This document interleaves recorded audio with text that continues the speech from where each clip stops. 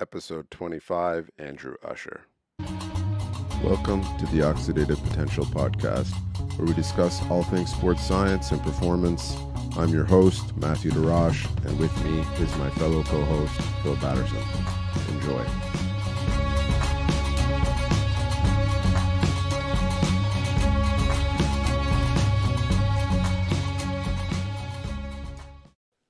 Good day, folks. In today's episode, I speak with Andrew Usher.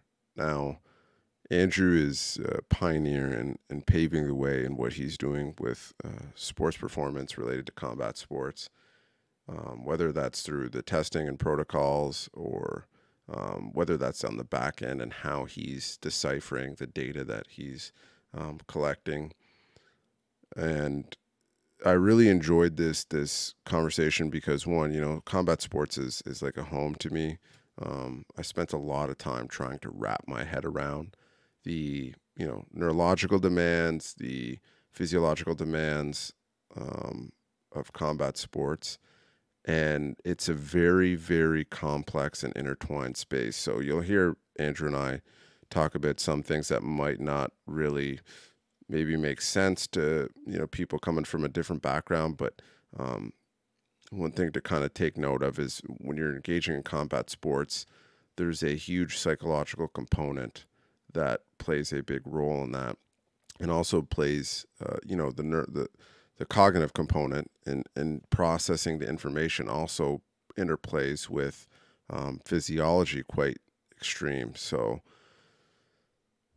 in this discussion, you'll you'll hear us talk about tons of different things, whether it's protocols, training, um, you know, different aspects of combat sports that are, are important to kind of wrap your head around. Um, but uh, you know, this this was an amazing conversation. I, I, loved getting to to sit down here with Andrew and ask as, as many questions as, as possible surrounding his thoughts on you know intervening and, and collecting data. So I'm really excited to share this episode. Andrew's done a ton of great work out there. He's worked with great fighters. Um, he's currently working with Hannah Rankin. She's she's world champ, and and in boxing. Also, one of the things too is, um, you know, I think ten years down the road, I think he's really going to change the field that much. So hopefully you guys can glean some of that information a little bit earlier from this podcast on what he's doing and how he's approaching it. Um, and uh, yeah, if you want to get in touch with Andrew or follow him, or I'll leave links to to to his Instagram and and site and all that stuff in the show notes. Um, and other than that, hope you guys enjoy the episode, which is exciting because I'll probably not uh, shut up during this conversation, but I'll try my best to to get in some good questions here because um, I want to preface this for everyone is what you're measuring with with boxing and, and fighters is how I think a lot of the field should kind of take notes on in the sense that there's no roadmap for what you're doing and you're literally creating the roadmap and instead of carrying over principles and and testing protocols and all these things that have had these tight correlations with other things you're saying what actually is the markers that are moving the needle? What are the yeah. things that we're seeing in sparring what are the things that we're seeing in training?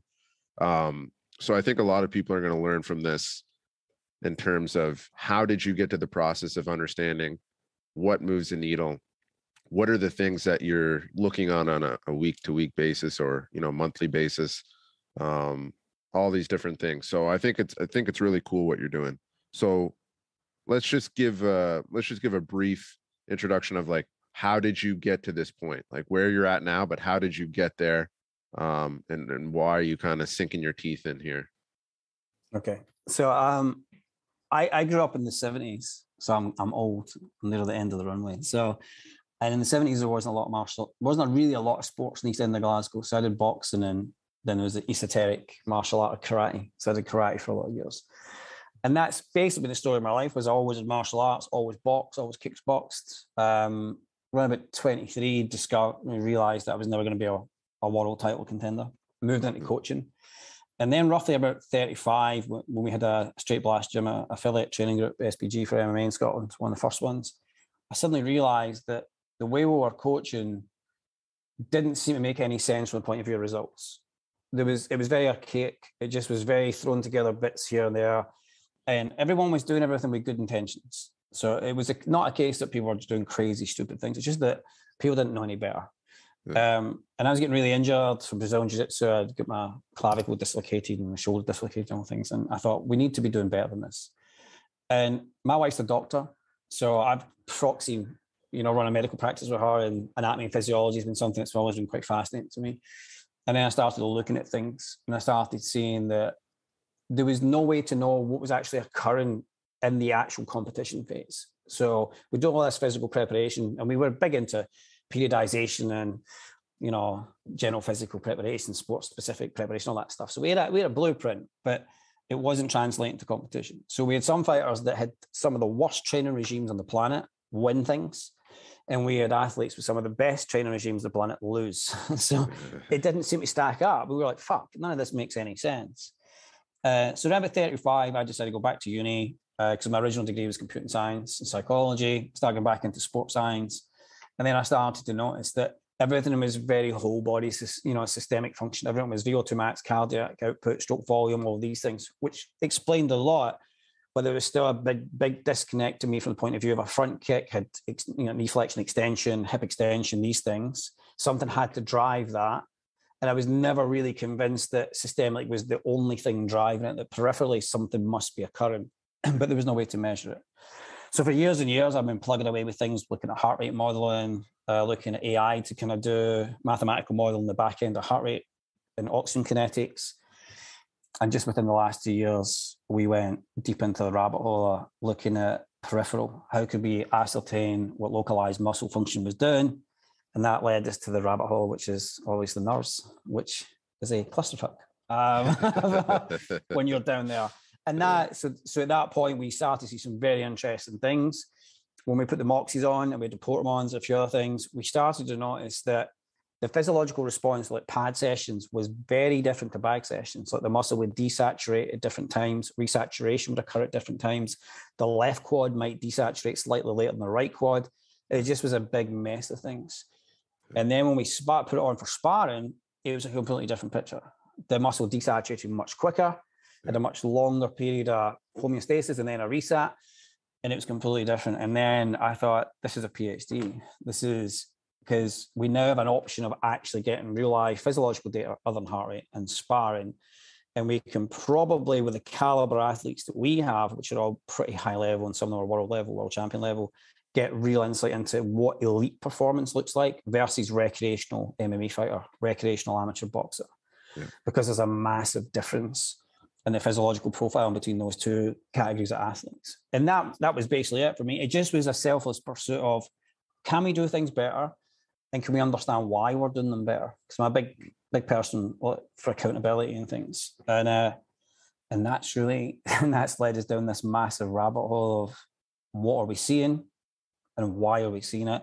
And subsequently, how can we improve performance? Because it's very multifaceted. You know, when you actually look at it, there's a lot of how S&C is done, how the biomechanics of striking this facility is a massive one for especially for for NIRS and looking at oxygen uh, desaturation values, and then just combining it and whether is long steady state running beneficial or not beneficial, and you know. So basically, I, as I said to you earlier on, for me, it's like when athlete, we always say to them, if you have a Ferrari chassis, you need to have a Ferrari engine. There's no point having a Ford Focus engine and a Ferrari chassis, and vice versa. So we're all about putting the engine together with the chassis and fine tuning the engine as best it can be. And, and when we do that, we tend to find that we get phenomenal results. But that to get to that point is like a real big detective story with the athlete because you've got to work out why things are happening, why they're not happening. And, you know, you have to really like a data heavy approach. Like some of our athletes absolutely hate it. It's just, yeah. you know, so they, they, they, they get a cut down version of it. Other athletes like Hannah Rankin, uh, current world champion, she loves all this stuff. So it's an easy sell for her. Yeah. You know, give her a graph and she'll sit there and go through it with you and tell you what's happening. So, for that, so that's that's basically it. That's that's kind of why we did it. Two things on there. I just want to dig into this right quick. Like this is something that I've always known as seeing the response from, you know, sparring versus bag work versus pad work. I see it kind of as this hierarchy where, you know, bag work, it's all pre-programmed scripts, right? Mm-hmm. Then you work into pad work where there's a there's kind of a response that happens where you have a window to perform whatever the task is. And then you have in sparring where that window gets really short. And yeah. those scripts and thinking about coordination, you know, the reason why our economy improves in whatever we do with running, cycling, any of these things is because we create heuristics and we have these feed forward mechanisms, right?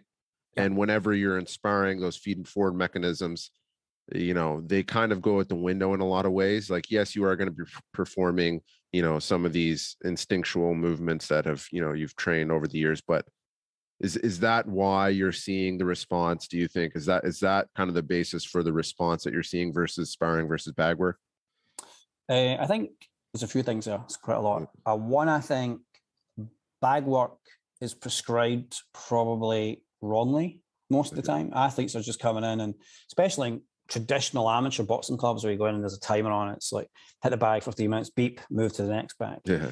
So your athlete is just is, is just throwing shit for the sake of shit a lot of the times. Um, yeah. So it's not programmed right. When you move into the pad side of things, a lot of that is very dependent. And as an athlete, got a fight coming up, are you technically drilling specific things? Are you not drilling specific things? Is it just I'm just going to do pads with this kid over here because he's in the gym? And then sparring is chaos. So sparring is really about becoming comfortable in the uncomfortable. That's that's that flow state. Yeah. So when I did my master's degree, I looked at the, the I looked at 27 years of amateur boxing because there's nothing in professional boxing, and you start to see some interesting trends. You start to see that the aerobic capacity in regards to VO2 max is, is not that high in a boxer. So it goes from roughly about 42 a VO2 score right up to about 67 from an SE paper. So most of the boxers we test have a VO2 max between probably 52 and 66.1. So that's not a massive range for anyone compared to endurance, but it's enough.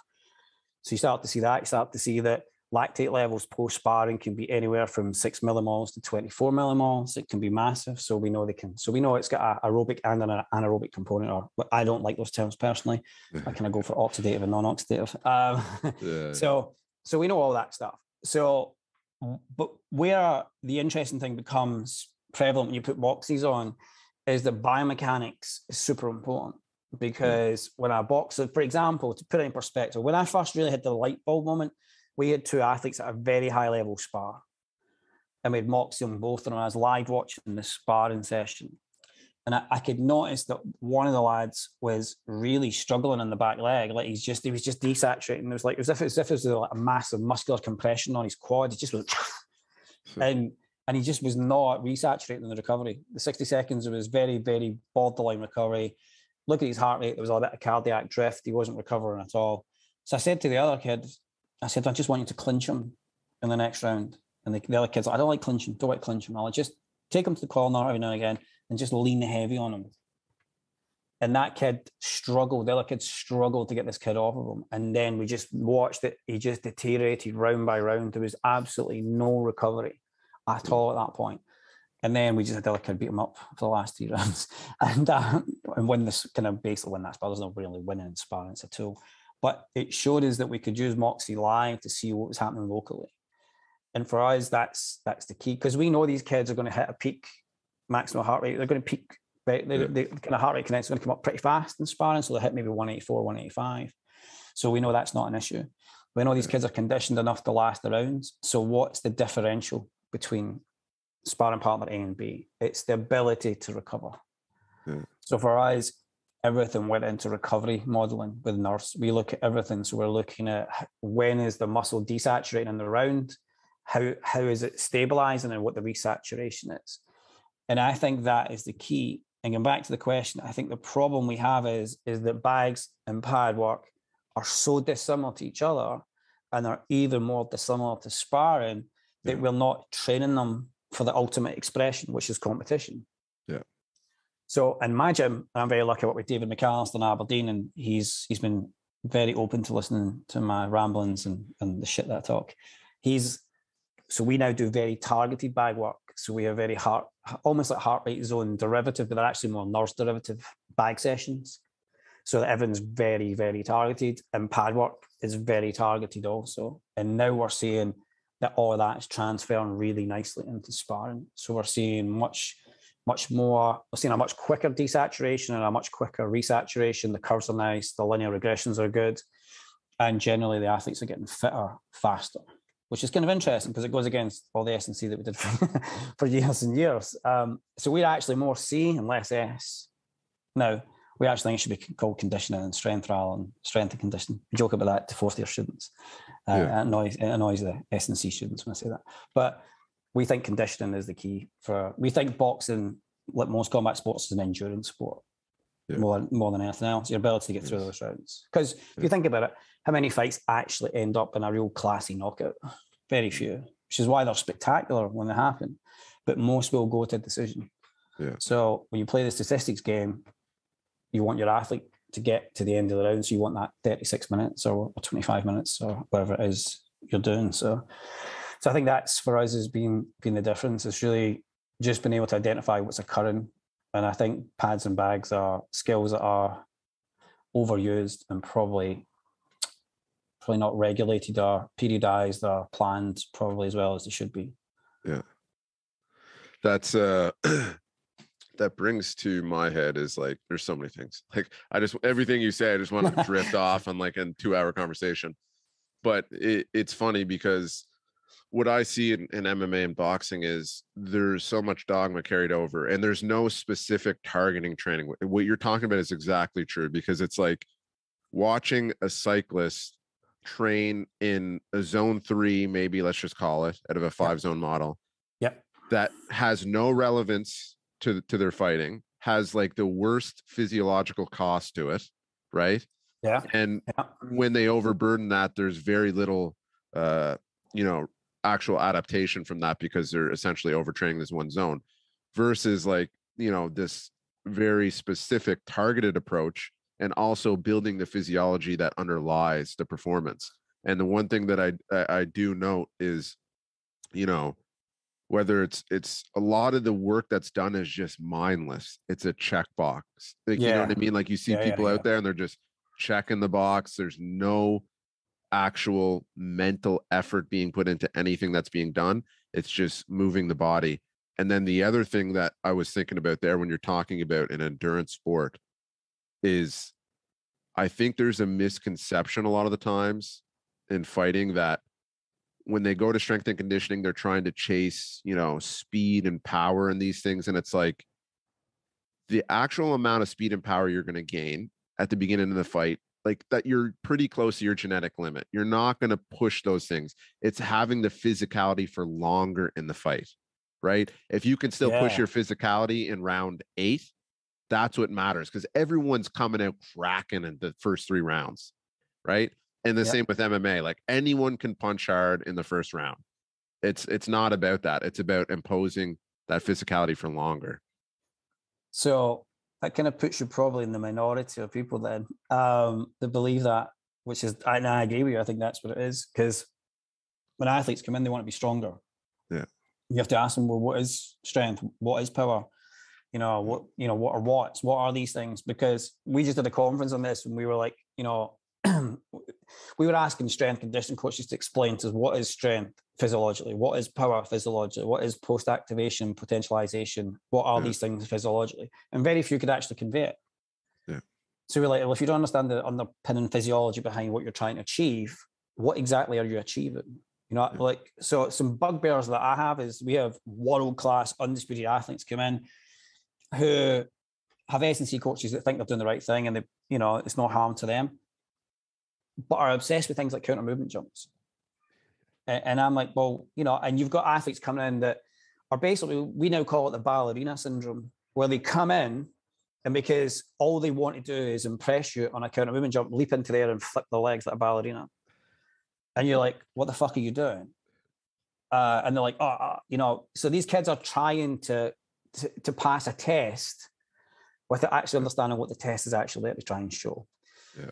So we have got that issue, and then we've got this whole idea. Well, we're doing landmine pressing and a lot of things, high volume that are changing biomechanics because when you punch, you're not punching unless your fight's on taller. You tend to not be going in that direction, right? So, Yeah. so just on the kinematics, you're changing certain structures. Yeah. Um, so we see that quite a lot. And our approach is completely different. Our approach more is is you know that whole idea. Well, we need to test you. So my whole process is quite straightforward. You come to see me. The first thing we do is a movement assessment. And this has been something that we have gleaned over years of attending all sorts of movement assessment things. We've attended functional movement screen courses, which I didn't think was particularly great. Uh, some of the best courses I ever attended was Mike Reinold's uh, integrative movement assessment is quite a good course. We took some of that. We took some uh, Andy Lemon and, and Stephen from Australia's MAC course, and we basically pieced together in the 3D motion capture suite a set of tools to look at assessment screen combat athletes. So we look at just simple things like uh, actually the, the actual movement assessment is basically a con. What I'm actually, I'm not really interested. So basically, I should explain this. I'm interested in what compensations does someone make Mhm. to try and pass the test because most athletes have S and C coaches. So Yeah. when I ask them to do a lunge and they know it's a test, they're going to try and pass this test. So Yeah. their body's going to make a compensation to make the test. So I, that's what I look for. So when I'm scoring the movement assessment, I'm- I don't give a shit whether they can touch the floor with both their hands. I'm just interested in how do they go about the process of touching the floor. Yeah. Is the hips coming back? Are the hip hiking? Same with squatting. Then you know I'm looking for something. So I look at is the hip pelvis position changing? Are they dropping? Are they got a little bit of internal, external rotation? So this is the first thing we do all athletes. Yeah. Once we get that data, we then do our physiology testing. So then we start doing Wingates, upper lowers, incremental treadmill tests. Um, but we don't do VO2 now. So Yeah. we just use Moxy because we think we get better data from the Moxy than the incremental. Yeah. And then from that is when we piece it all together and we go, you know, because if if an athlete is squatting really poorly and there's a lot of asymmetry, and then they do a Wingate and we see a drop off in power left and right leg, then we can back that up and say, right, definitely something's there. Because combat sports are asymmetrical anyway, there is going to be asymmetry. Uh, one of the things that I find quite interesting, I'm going to a tangent here now, um, where, where athletes is a lot of S&C coaches are trying to make them super symmetrical Yeah. Yeah. yeah. right? So we spend a lot of time Yeah. making people super symmetrical and not realizing just how the natural body pushes, you know, how the back foot pushes before you throw your back hand. So we our rule is, is unless you're like between 11 and 15% asymmetry, we don't really give a shit about it too much. Yeah. As long as your Wingates are good, your, you know, your strength test is good, your isokinetic test is good, the force plate power punch looks good. So when we have an athlete, we're basically saying, like, stop chasing strength, stop chasing power, and let's just get to the nitty gritty. We need you to last these rounds. Do you have the mitochondrial capacity to last those rounds? And if you don't, we're going to fix it. Yeah. And that's going to involve just sprint training and a whole heap of other type of training. And we're going to measure it. And that's the key for us is we we we are we are very data heavy. Uh, so we measure everything. So I'll give you protocols. You'll take a heart rate monitor. I'll sync it all up so I can see it remotely. If I can, I'll give you Moxy data. I'll get that via the VO2 Master cloud app now Mm. remotely, and we process everything in the back end. So we get scripts that do all of it now. So, so that's that's our take. But you are in the minority in the sense that, I think you're right. You have what you have genetically. Yeah. How much can you manipulate it? And a lot of the issues are just probably misaligned training protocols. People are just Yeah. not training appropriately for the sport because they think because you think about it, why do athletes do long runs? It's weight management. That traditionally it was just weight management. That's Yeah. all it was. So we we're very strict on that as well. We don't like athletes. So I'm a five percenter. I don't like athletes to be five percent out with fight weight at any time. Davey, who I work with, like seven percent. So we're kind of close. Um, so we can agree to disagree. But we don't like athletes to bounce out of weight. We like athletes to be thinking more 52 weeks a year rather than eight week camp, 10 week camp, take six weeks off, come back, Yeah. fat camp, get rid of it, slide them into performance. So our athletes, especially elite level, are training all the time. So we're constantly evaluating where are they, you know, what they're pushing. Um, can we squeeze some extra things here? Do you have to rein back a little bit here? So it's like, it's just like a sliding scale. It's just constant sliding scale on the board of, you know, we have got set things we do beginning of the week just to assess where they are, which is very like how Team GB do it in a run. So so things like that. But yeah, you're in the minority there, which is good. One one thing on that is well, a few things there. one, when athletes are training for strength, It's not strength. That's the one thing I see. It's like, first of Yeah. all, you're you're not training strength. Strength is, you know, a maximal effort and a 15 minute rest. You're not doing that. No one has the time for that. Nope. A lot of the times people are training conditioning. The other time, the other thing on that um, is what I see with SNC, the big problem is, is this they're trying to th- this old pattern, and I see it all the time, and it fucking destroyed me, and I've seen it destroy so many other people, is they want this global effort versus a coordinated effort. And what I mean by global effort is they want this is this is the strength and conditioning coach's mindset is we want all your motor units firing to make that movement as simple as possible right? And it's just i see coordination go out the window i see fighters get stiffer i see coordination start deteriorating dramatically and we know this from cycling and running all these different things is like those people that a lot of the people that have the best endurance are cycling motor units and they're very efficient in how they apply those motor units in coordinated fashion.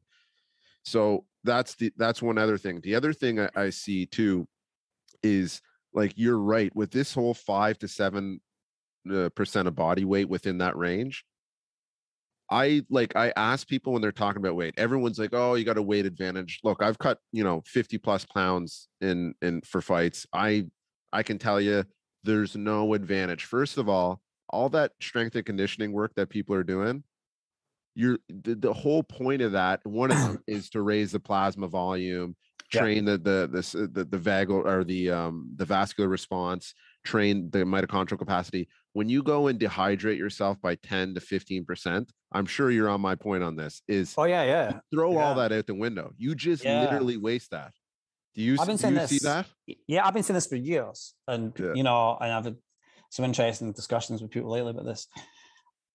I don't understand if you if you're fighting say at 69 kilos at super welterweight, you should not be doing your S&C at 85 kilos and then cutting it. And because I, I can tell you, and I, I'm, I can't mention names, but we have had some of the best athletes on the planet in our labs who have fallen into that cutting, you know, massive amount of weight in the last week, who Yeah. have done exceptionally poorly and very lucky to still be at world champion level. Yeah. And you explain to them, you are training at a weight class that's maybe three above where you're going to fight. So there is no size advantage for you because the only way you can get there is to dehydrate. Yeah. You know, and then you start to get issues with kind of muscle contractile, you get issues with calcium kind of sensitivity levels and sarcoplasmic reticulum and all that good stuff. It's not Yeah. going to fire. Yeah. And it's a challenge because there is a size advantage. See, I think the argument a lot of people have with me is, is yeah, yeah, but in, in MMA it's different. Boxing maybe not, but in MMA that extra weight. And I think that's maybe true. if Somebody falls on top of you, you know, Yeah. and they're like maybe 60 pounds heavier than you, like in BJJ or whatever. Right. So I think, Yeah. yeah, but maybe, but it's different when they're being, when then you're kind of clubbing them, you know. Yeah. it- so Yeah. I, I don't believe in it. Don't believe in size advantage necessarily. Yeah. I think Canelo's a good example. Canelo's not massive for his weight class, you know, but he's got skill, timing, and he's come on leaps and bounds. So yeah, I'm totally agree with you. It, it breaks my heart that you have these kids where you're doing as much as you can from physiologically, and you have to say to them, cutting this weight, you're negating eight weeks of preparation. yeah Come in to see me, five percent, and all your S and C, your muscle fiber recruitment, everything is bang on the money. And on the night, you're just going to be fighting like you train. You're going to have that advantage of recovery, and the recovery goes out the window. That's when you start looking at heart rate kinetics. When people dehydrate, and we don't have any papers on this, but it's something we're looking at. When you look at how the heart rate recovers between round dehydrated, there's the slow phase and fast phase recovery changes dramatically. You start to see a much slower response to recovery. It becomes near the end of the round. So what happens is it's about probably four or five seconds before they actually go back into the next round that they actually start to come down in heart rate and then it goes straight back up. And cardiac drift starts to get really crazy. And you, we've got enough data to show this. You can start to see it versus a hydrated fighter. You see a different picture where they start to recover much earlier in the round and they have a little bit, maybe a cardiac drift, depending on how good their condition is in later rounds, but it's nowhere near as severe. So we know that the kinetics changes quite dramatically, and we're seeing this in the O2 kinetics as well. We're definitely seeing muscle saturation change versus hydrated and dehydrated. In fact, we're about to do a research project on that um, fairly soon. We're going to look at heat and how it affects dehydration values, affects that. So we know it's there, but Yeah. they still do it. They still athletes still, you know, I, it's. I'm lucky that I only have a couple of athletes that we have kind of slight issues with the weight that they kind of bounce a little bit, but generally it comes back under control. But you would be shocked at the elite of elites how out of control it can be, and you're just like, and a lot of this is because the S and C coach doesn't know how to deal with it, and they don't speak to nutritionists. A lot of times, the nutritionist is not qualified. It's maybe somebody's on a weekend course on water loading. It's just, it's just, it's just horrific. You know, it's just you know, I said certain things. Some of us are trying to do a good job, and some of us are just trying to do a job so we can have Instagram. Yeah. And um, yeah. I hate socials. I'm, I'm about six followers or something, so I'm not a social person. I hate it. it's the most depressing thing on the planet at times. Um, so, so yeah, but you're right. I mean, I, I don't know how you combat that though. I, I, mean, you can educate people as much as you want, but yeah, they just. I think it's. I think personally, um, it's greedy promoters that want to force kids into weight categories, and I know this yeah. from boxing because I've seen it firsthand. They try to force them to be at a weight category like bantamweight or super bantamweight rather than where they should be, just because they think they've got a higher chance of success in that weight category. Yeah. But but we've even seen it doing, you know, rest of metabolic rate that you start to see some scary things happen through the camp. Yeah. You know, we've had athletes come in that should roughly have an RMR of two, three, maybe 2,300 to 2,500, coming in at 1,100 and you're like, and they're not losing weight, and the coaching staff don't understand why they're not losing weight. They don't understand why, you know, and you're like, well, you're prescribing 1600 calories a day with a 2000 deficit, and they're in sort of some sort of red scenario. So I think it comes back to this thing. I think a lot of coaches are doing the best they can do with the knowledge that they have, yeah. but it's not good enough. Yeah. In my opinion, now it's not good enough. I'm uh I've wanted to make a campaign for this or at least because I know there was an attempt in one FC to try and rule this out. Yeah. So you're fighting weight, right? Matt Hume is is a smart guy. But the thing about one of the big things is it even outside of the actual let's just talk about classical physiology talking about the brain. So we we know with the hydration status it takes after that type of severe hydration it takes 2 weeks to re, re fully hydrate the spinal column, and the brain fluid. What do you think that does for your neurological performance, your cognitive performance? And I just, I wish, I wish fighters could have a panel of tests. I wish, especially at the beginning of their career, put them through, test them before, put them through a weight cut on cognitive tests, you know, do run the whole panel before and after and show them this is what you're going to be dealing with. So do you want to train this hard for this long to literally throw all that out the window and be stuck at square one again or even worse um it just it drives me at the wall and especially when we're talking about a sport where you know the neurological consequences are going to be amplified and i think that's why we're seeing what we're seeing nowadays with some of these kids ending up in the hospital it's like the amount of weight a lot of these people are cutting like you're you, you have to there's a balance to be found and i think what you're you're talking about five to seven percent is like it's right on the money and i wish more coaches would look that way um, it's funny because a local MMA promoter got into a debate with me about this, and he was like, you know, well, how can you combat this? Uh, and my PhD supervisor, John, his big thing is, is at the very least, you could buy or hire a reasonable set of Tanita scales and check body yeah. water composition and have a rough idea of water. And if it's under a percentage, they can't fight. And the MMA promoters get very upset about that because they were like, "Oh, we'd be pulling fighters left, right, and center." And I said, "So you know you have a problem then, yeah. if that's your reply to me." Yeah. And they were like, "Be too costly," and I'm like, "Well, I could bring a set in tomorrow if you wanted for your show." Yeah. And he just was like, "No, no, no, no, no." So they're aware of it. They just, you know, and, and I, I say this to every young athlete that comes into us to the labs. A lot of times they'll bring their family, their girlfriend, their wife, and I'll always say, my job really is more to make sure that you have a, a life out with the sport and they they just look at you sometimes, and the girlfriend, the wife might get it, or uh, uh, the boyfriend might get it, but you're like, because at the end of the day, you're going to leave this sport and transition into normal life. Yeah. Do you want to have children? Do you want to have a healthy, functional life? Do you want yeah. to be able to move? Because I mean, I'm riddled with like avulsions and broken toes, and it's my head yeah. missing from the old days where we had nothing. Yeah. And I understand that fighters, because I was like that myself, you, you don't listen, but that's why you have coaching staff. The coaching staff yeah. are meant to be there to make sure you're safe. Yeah. And I've seen some very in the years in this sport, I've been in this sport for over 20 years. seen some very, very sketchy things. Very Yeah. sketchy, where you're just Oh, like, yes. come on. Yeah. But we need to change. But I, I do feel I kind of we're very lucky at Abertay University because the university's made combat sports its central research focused. So Yeah. we are basically now that's Okay. the route we're going down, and we're kind of hoping that some of our third and fourth years as they come through, or maybe want to do research projects in this area, and we're kind of hoping we can start to really bring up a lot more research papers looking at things. I think as much as weight cutting is super important, I think we need research in other areas just because I think once you interest people in other areas, there's a good Yeah. chance we'll look at the other research. Yeah. I think because research has been very weight cutting heavy, people are Yeah. very off put by it now. They don't want to read it because they think, oh, we know enough Yeah, about yeah, this.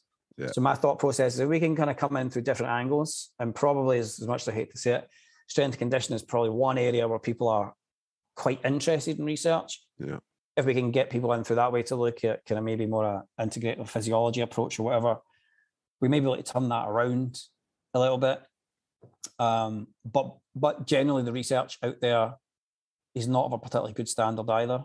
Um, I mean, if you look at amateur boxing over the years, and I, I, I looked at that and did a systematic review and stuff, when you look at it, it's very, and this is like cracks me up the most about the last 27 years of boxing physiology has been is boxing 80% aerobic, 20% anaerobic.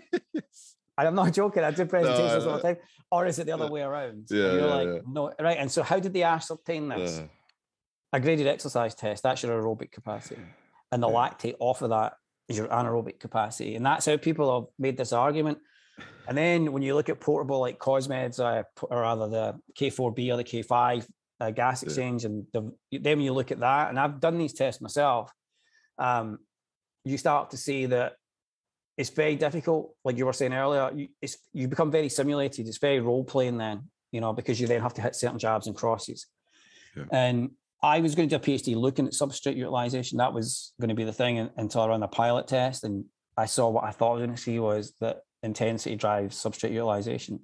Early rounds, predominantly fat oxidation, later rounds, predominantly carbohydrates. So. I was kind of like, there's nothing there. But the interesting thing was I had the Moxy on all these boxers whilst doing it because we just capture everything. And I looked at that and that was the big moment for me. I looked and I thought, whoa, you know, we know this is happening systemically, probably in the whole body, but why the hell is the left quadricep and the right quadricep desaturating at different time points and at different heart rate points? Why would why would that be the case? And we're still trying to work that out. And at that point, I thought the boxing world is and research is, is targeted a certain like tunnel because it's easy to do. Right. Yeah. So at Abertay, we're heavy in applied science. We're very, very big on it. We understand that that's a probably lower s- scoring research paper because it's not going to have the same rigors necessarily as a lab-based paper. So we Yeah. kind of do the best of both worlds. So half of my research is very much in the field, bags, pads, sparring, Moxy. The other half of the research is very controlled in the lab. And the, it's to look and show that lab's great, research is good, but sometimes it doesn't actually balance out into the real world. And there's a, a whole heap of different factors Yeah. you know because one of the interesting things about sparring is if you look at the amount of punches thrown in the bags and the pads the volume's pretty high Yeah. sparring it's between 50 and 80 punches per round but there's a, a bigger drive of desaturation and there's a bigger delay which has to be hormonal there has to be Yeah. you know probably adrenaline cortisol and all these things happening so even that has its challenges because when you look at that data you have to kind of put it in perspective to the other two because although the volume of work is less probably the hormonal drive is much higher. So there's changes in the glycolysis and all heap of other things.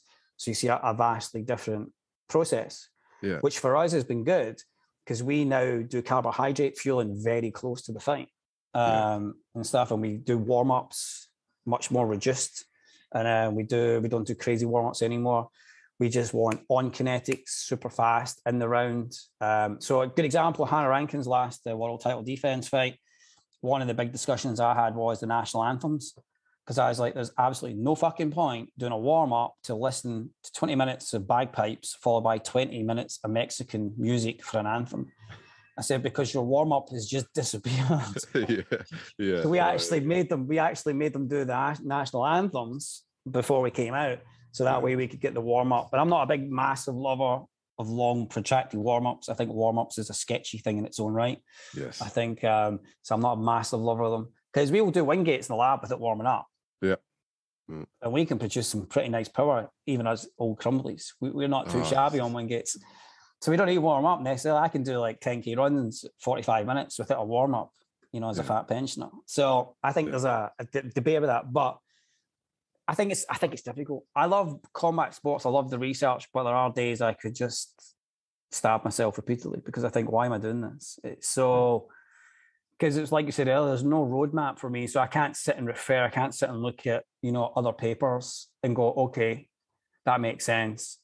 That relates across. The VO2 relates across because it doesn't, it's it's completely different. We don't the response is is is vastly different. Although fascinatingly, um, the point so we're saying that there's like an eight second delay in sparring before rapid desaturation occurs on muscle. Yeah. And it doesn't matter what the weight class is, it's there. So interestingly, the weight of the athlete from the point of view of when the muscle will desaturate doesn't seem to change too much. Um, which is kind of interesting. That was an interesting one. with- And the other interesting thing is we've discovered with boxers is when we do isokinetic strength testing is, which is no real surprise to me, is the arms are always stronger than the legs, which is kind of interesting because it probably reinforces that whole thing that they don't really train their legs, Yeah. particularly too well because Yeah. they don't like to squat. So, so yeah, there's a lot there. I went on a tangent there. Sorry. Just- No, no, there was tons of good stuff in there. One thing that you brought up was the, you know, endocrine response, and that's something I've thought about quite a lot. Is especially with fighting, you have these mechanisms that are engaging hormonal responses compared to when we see in an exercise test, you get the norepinephrine washout around VT2. So it, it- that Yeah. starts to create mechanisms, you know, surrounding that engaging, right? Like versus where you're having these endocrine responses that are kind of steering physiology in a sense, right? Which Yeah. is super interesting. And I think one of the big reasons I don't think a lot of people have connected, you know, you know, some of the cardiovascular responses is a lot to managing those endocrine responses. And I think if you watch boxers from, excuse me, from the 1930s, 1940s to boxers in the 2000s, there's a completely different psychological um, display going on in the ring, which is going to completely change the endocrine response. And also, for example, if you watch someone from Thailand sparring versus someone from North America, you know what I mean? It's two Oh, yeah. different there's a different approach to you know the psychology the physicality um and i think that's why you see someone in thailand that's you know drinking a, a six pack a day and smoking cigarettes in between rounds can easily you know hold that physicality through the rounds is because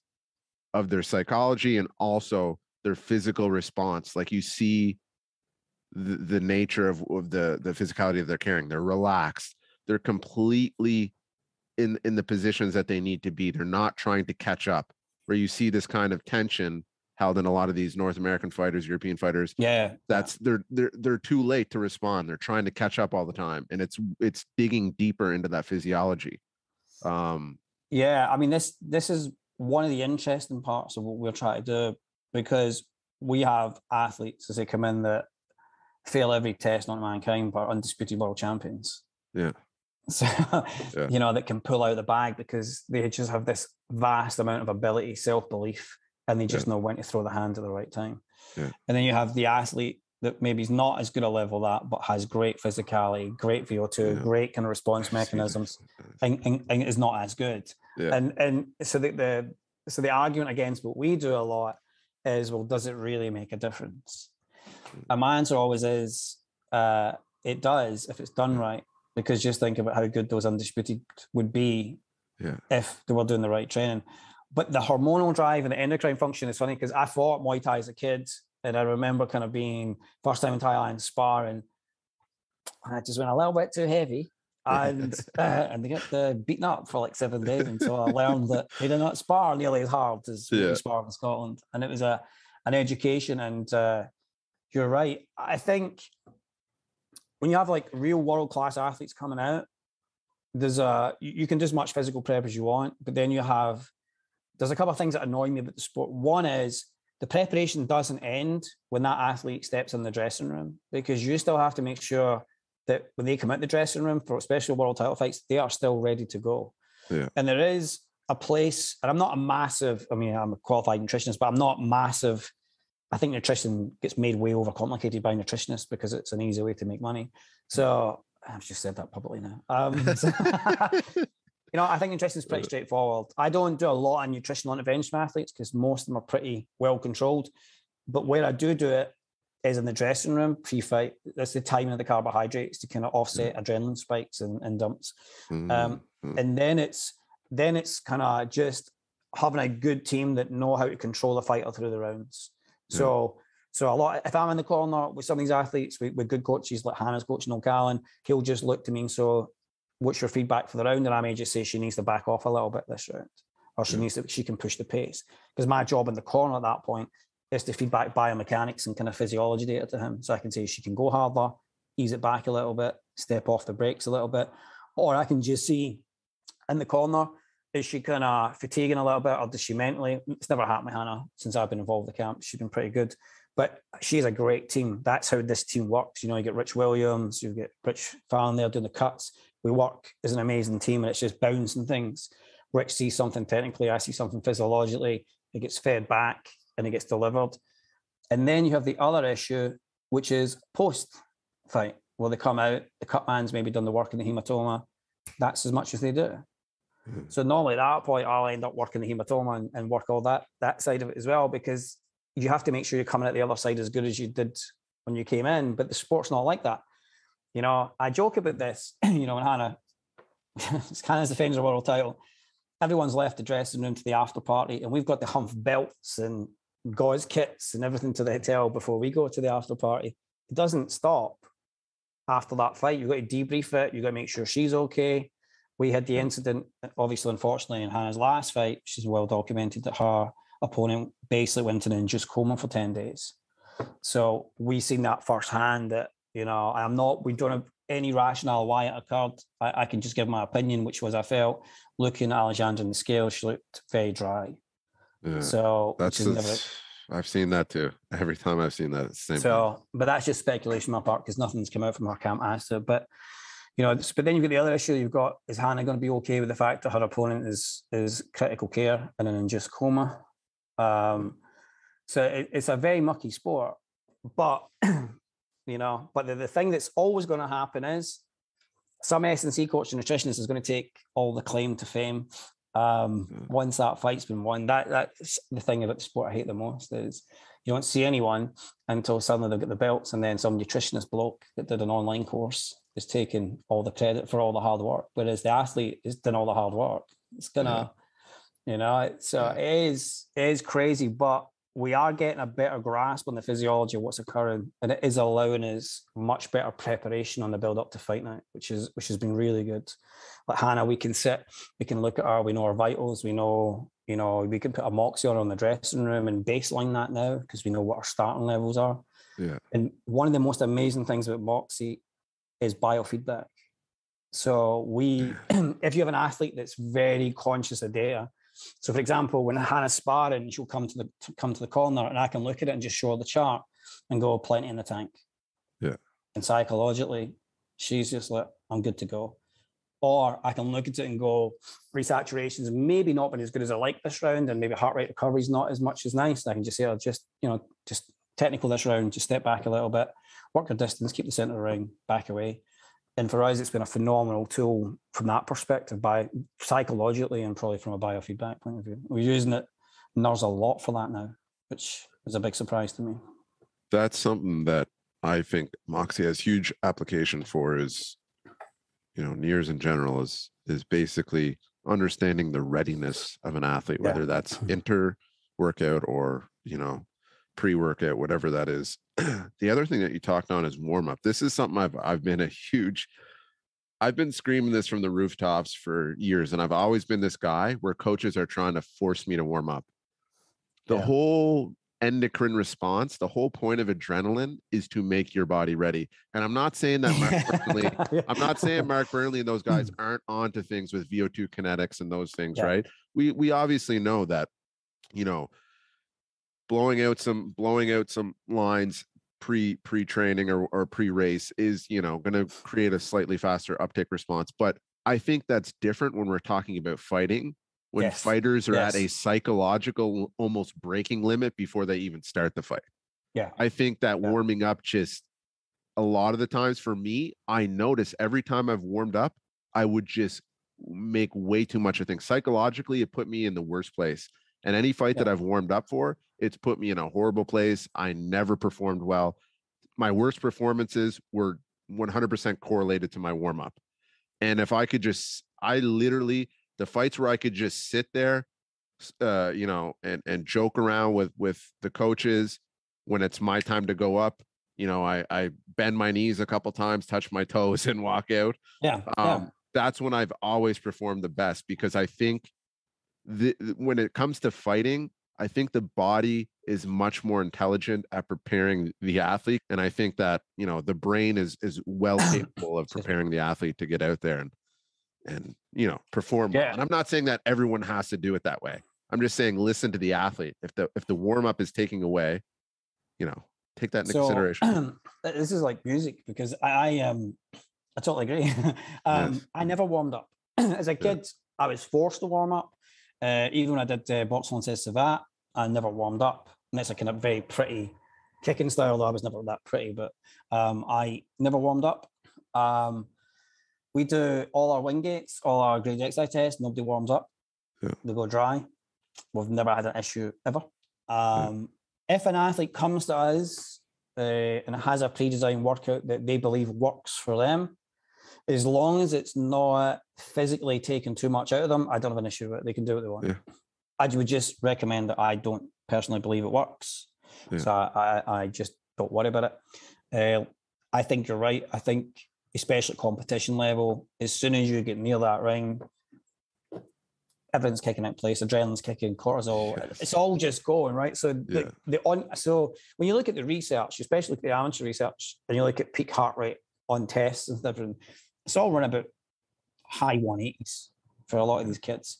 You know, that's right through from pretty much senior level to Olympic level. So we, we know the kinetics, the on kinetics for the heart rate is going to be it's going to be pretty sound. It's not Yeah. just because that natural kind of fight or flight mechanism and everything else kicking in. So I don't think we need to do anything. To, a lot of times I'm trying to, I don't want to encourage it any more than it's naturally going to happen. Yeah. So I don't want crazy pad sessions. I don't want, I like just athletes just to be kind of just chilled out, listen to some music, just Yes. Yeah. I'll be like, here, take a carbohydrate bar. Let's go. Let's rock Yeah. and roll. Let's make it happen. Because Yeah. they've done it so many. I mean, we're lucky though, because it's all the athletes. So they've done it so many times before. They know how to fight. So it's just now about the proper lead up. But a few of the fighters we've changed the whole build up. A lot of them they've been a lot more successful. Said this is a much better way to do it for me. Yeah. Because a lot of times they don't want to hit the pads, they don't want to do a warm up, but they feel they're forced into it by S and C coaches. Like you need to do this, you need to do this. And I'm like, why are we doing plyometrics before we walk into a ring? They're not. They're not long jumpers. Not. They're not hurdling anything. So why? You know Getting why? the are we doing- tendons ready. Uh, yeah, like straight leg Yeah. plyos. I'm like, why are we doing these things? And it's a hard sell a lot of times when I come into camps because the first thing I'll do is I'll take that away, and the S and C coach will be like, "But I won't get filmed on television doing my warm up." Um, I'm like, I don't give a fuck about your warm up. Um, I'm only interested in will this athlete win this this fight? That's all we care about. Never mind you. Um, Yeah. But I've seen athletes do like 55 minutes on warm ups. I'm like, it's a fucking workout. It's not Yeah. a warm up. Yeah. Um, so I'm not a. I've done enough research looking into warm ups to see that I don't think there's a massive amount there physiologically. I think Yeah. there's a lot of spurious terms being thrown around, like PAP and Yeah. all this stuff. You know, like the ramp, what calls a Jeffreys, which I, you know, I'll say it again because I've said it many times. I think it was quite a original article that he wrote was interesting, but it's quite self indulgent. Um, Mhm. and I, I feel that that's led the UKSCA to adopt a process that I think really, when you dive into the research, is a bit sketchy. Um, you know, especially look at post activation potentialization. You think, well, was that really what it was meant to be? I think Andy Galpin's done some nice posts and, and, and debunking all that stuff as well. So I think everything has its place, but I think Yeah. you've got to use your tools wisely. And I think more often than not, you know, we are very minimalistic though. So me and John, my supervisor, we chat about this a lot in the labs that we're not Instagrammable because you come in, you do two Wingates, and we analyze the data. There's nothing sexy about it. It's just Yeah. sweaty, horrible, super maximal work. Yeah. You can't Instagram it, but I'm pretty sure if we did like crazy dumbbell presses whilst on the bike, Yeah, yeah, It'd yeah. be highly Instagrammable and we get a lot more likes. Yeah. So, but I think you find that those that are doing good jobs are, are less probably in the public eye versus those that are kind of just in it for the Yeah. cash and just the, the fame. I'm not really fussed about the fame. Cash might be nice though. Buy more. Because that's that's what I mean. Like we make money, it just goes back into the kit. Like we bought ultrasound. We wanted wireless ultrasound because we wanted to see if we could look at fiber length, and we wanted to have a look at this whole idea that was floating around that you could measure glycogen content pre Yeah. and post exercise, which I think is a bit sketchy. We actually look at how it's done. Um, but the ultrasound has been interesting for us to look at the, the changes in the muscle tissue pre and post supermaximal work with the nerves, which is really interesting. Uh, yeah, So we're looking at stuff like that now as well. Um, But yeah, I mean, in our lab, we very seldom do a VO2 test. We don't do lactate testing anymore. Yeah. Uh, again, it's the same thing. You know that a boxer is probably going to have a resting uh, lactate probably between 2.1 and 3. Yeah. So it doesn't, you know, so you say this to students all the time when they look at the textbooks and look at 0.8 and 1 for resting and be like, no, no, no. Most of these athletes have been the two. Yeah. And they're like, but that doesn't make any sense. I'm like, well, it does because most of them are constantly cutting weight. So they're constantly kind of metabolically in a flux. I said, so you're not going to get a true, true, true, nice, pretty lab version of lactate. Yeah. So that's the only times we'll do it. And then post post sparring or post Wingates, you'll see it in the, in the high 18s, 19s, 20s. So lactate for me is in combat sports is, I think it's a relative waste of time for me, and it's expensive. Those strips are really, really pricey. I don't yeah, you burn through them. The the meter might be cheap, and and one thing I don't think people realize with lactate hand, portable hand meters, go look on the uh, validation of of those hand hand meters Yeah. because I think if people realize, you know, the variation in some of the models that are commonly used, and I don't know why. I don't know why people think a certain lactate meter is better than the other. Like when I've looked at the the the validation of those, some of them are you might as well just be guessing. You'd have you'd have better results just by physically watching the athlete and seeing deterioration in coordination or physically watching their their breathing frequency and and things like this as for me i'm like with the a- especially some of them that are so popularly used so i'm very adamant i'm like I'm evan talked about this in one of the first episodes it's like knowing the error margins of the tools that you're using Yeah, it's a and- biggie. Big, yeah big, it's big. huge Because so I've got I've got two lactate scout pros, two exact same ones will give two different readings of the same athlete. yeah yeah And not I mean not just like a marginal, but it could be like a 1.1 versus a 3.1. yeah And you're like, but then I did this thing for I did this research looking at I I talk to students a lot about this about even cortex. You can take two Cortex MetaLyzer 3Bs and there Yeah. can be anywhere up to 7% difference in values Yes. produced yes right? So when you look at the research on that, and you go, there's a seven percent error margin, and then there can be anywhere up to twenty percent human error in how they're actually reading that or setting that up. So theoretically, you could have anywhere up to twenty-seven percent of error a Yeah. bad day. Yeah. And so, and this is something we say a lot to athletes when they go and see nutritionists to RMR them or they do VO2, they go for lab testing. Always say, how good is the quality of the lab test? Yeah. Because I know myself, there's been days where we've run the cortex and you're looking at it and you're like, nah, that's that's way out, way, way out. Um, and then you phone cortex out and they tell you just to use a predicted formula. And you're like, well, you know, like 47,000 pounds all the hardware, that's not a great answer. And, Yeah. You know, so I, I'm very, um, and I, I've played around with all these. I had a PNOE, which I, I, I get the basically i'm here on you. I'm, I'm on the same page with you. So Yeah. and um I, yeah. So and i've had other ones as well and i've just never been that impressed. Yeah. um but what i am impressed by and I, I mean i'm very coming with a very tunnel vision biased approach i have to make that quite clear. I am very knee deep into to NIRS. You know that is yeah I guess my lens that I look at them through, just purely because one of the more fascinating things we have found is doing the incremental treadmill test with athletes, and we have a lot of data on this. Looking at RecFem, I'm a big RecFem lover. I'm not so keen on vascular RecFem, gastroc. You see this beautiful picture on a good incremental test where you see this really nice desaturation, and then roughly where people will call VO2, you'll see that fast desaturation. But if you let those kids run a little bit longer, you go, no, no, no, hold in, hold in. You get this double dip and you get this really beautiful second linear drop on it. And at first we were like, oh, it's just that athlete. Now we're like, athletes that are very good at this that are that we're seeing some fantastic. Hopefully, this is going to be a paper we're going to come out hopefully this year, but we're going to look at using the incremental treadmill test because you do see this super beautiful. I'll send you some data. It's a really beautiful double dip, and it's really nice. And that's the point where VO2 probably is max. Yeah. But in the lab, you probably would have called it maybe 30 seconds previous. So I don't even think we're getting proper VO2 readings because I think a lot of times, and I know myself from labs, as soon as the RER gets to 1.2 or whatever, they're like, we're just calling the test. You're volitionally done. They're not letting the kids get to pure volition where they're falling off the back of the treadmills. Yeah. Whereas we're a little bit more, let's fall off the back of the treadmill um, yeah. and just see how far we can actually take you. Because we have a lot of athletes come in that have been VO2 tested elsewhere and they're like, oh, I got to 18 kilometers incline two and bailed out. And I'm like, huh. And I'm like, did you want to bail out? And they're like, oh, I might could, could have went another step. I'm like, well, yeah. you freaking will be going for another step in this lab. So yeah. just get at it. And we've discovered there's an interesting breakpoint further on. But I think the Moxy on an incremental gives you everything you need. You can get a rough idea of fat max, you can get a rough idea of steady state, you can get a rough idea of all of these things once you get comfortable with it. Yeah. And I think NIRS is an amazing proxy tool. I don't think you need a Cortex anymore unless you want the VO2 score. But eventually, I think we'll be able to look at that and correlate that anyway. I don't think that's it's going to be a problem.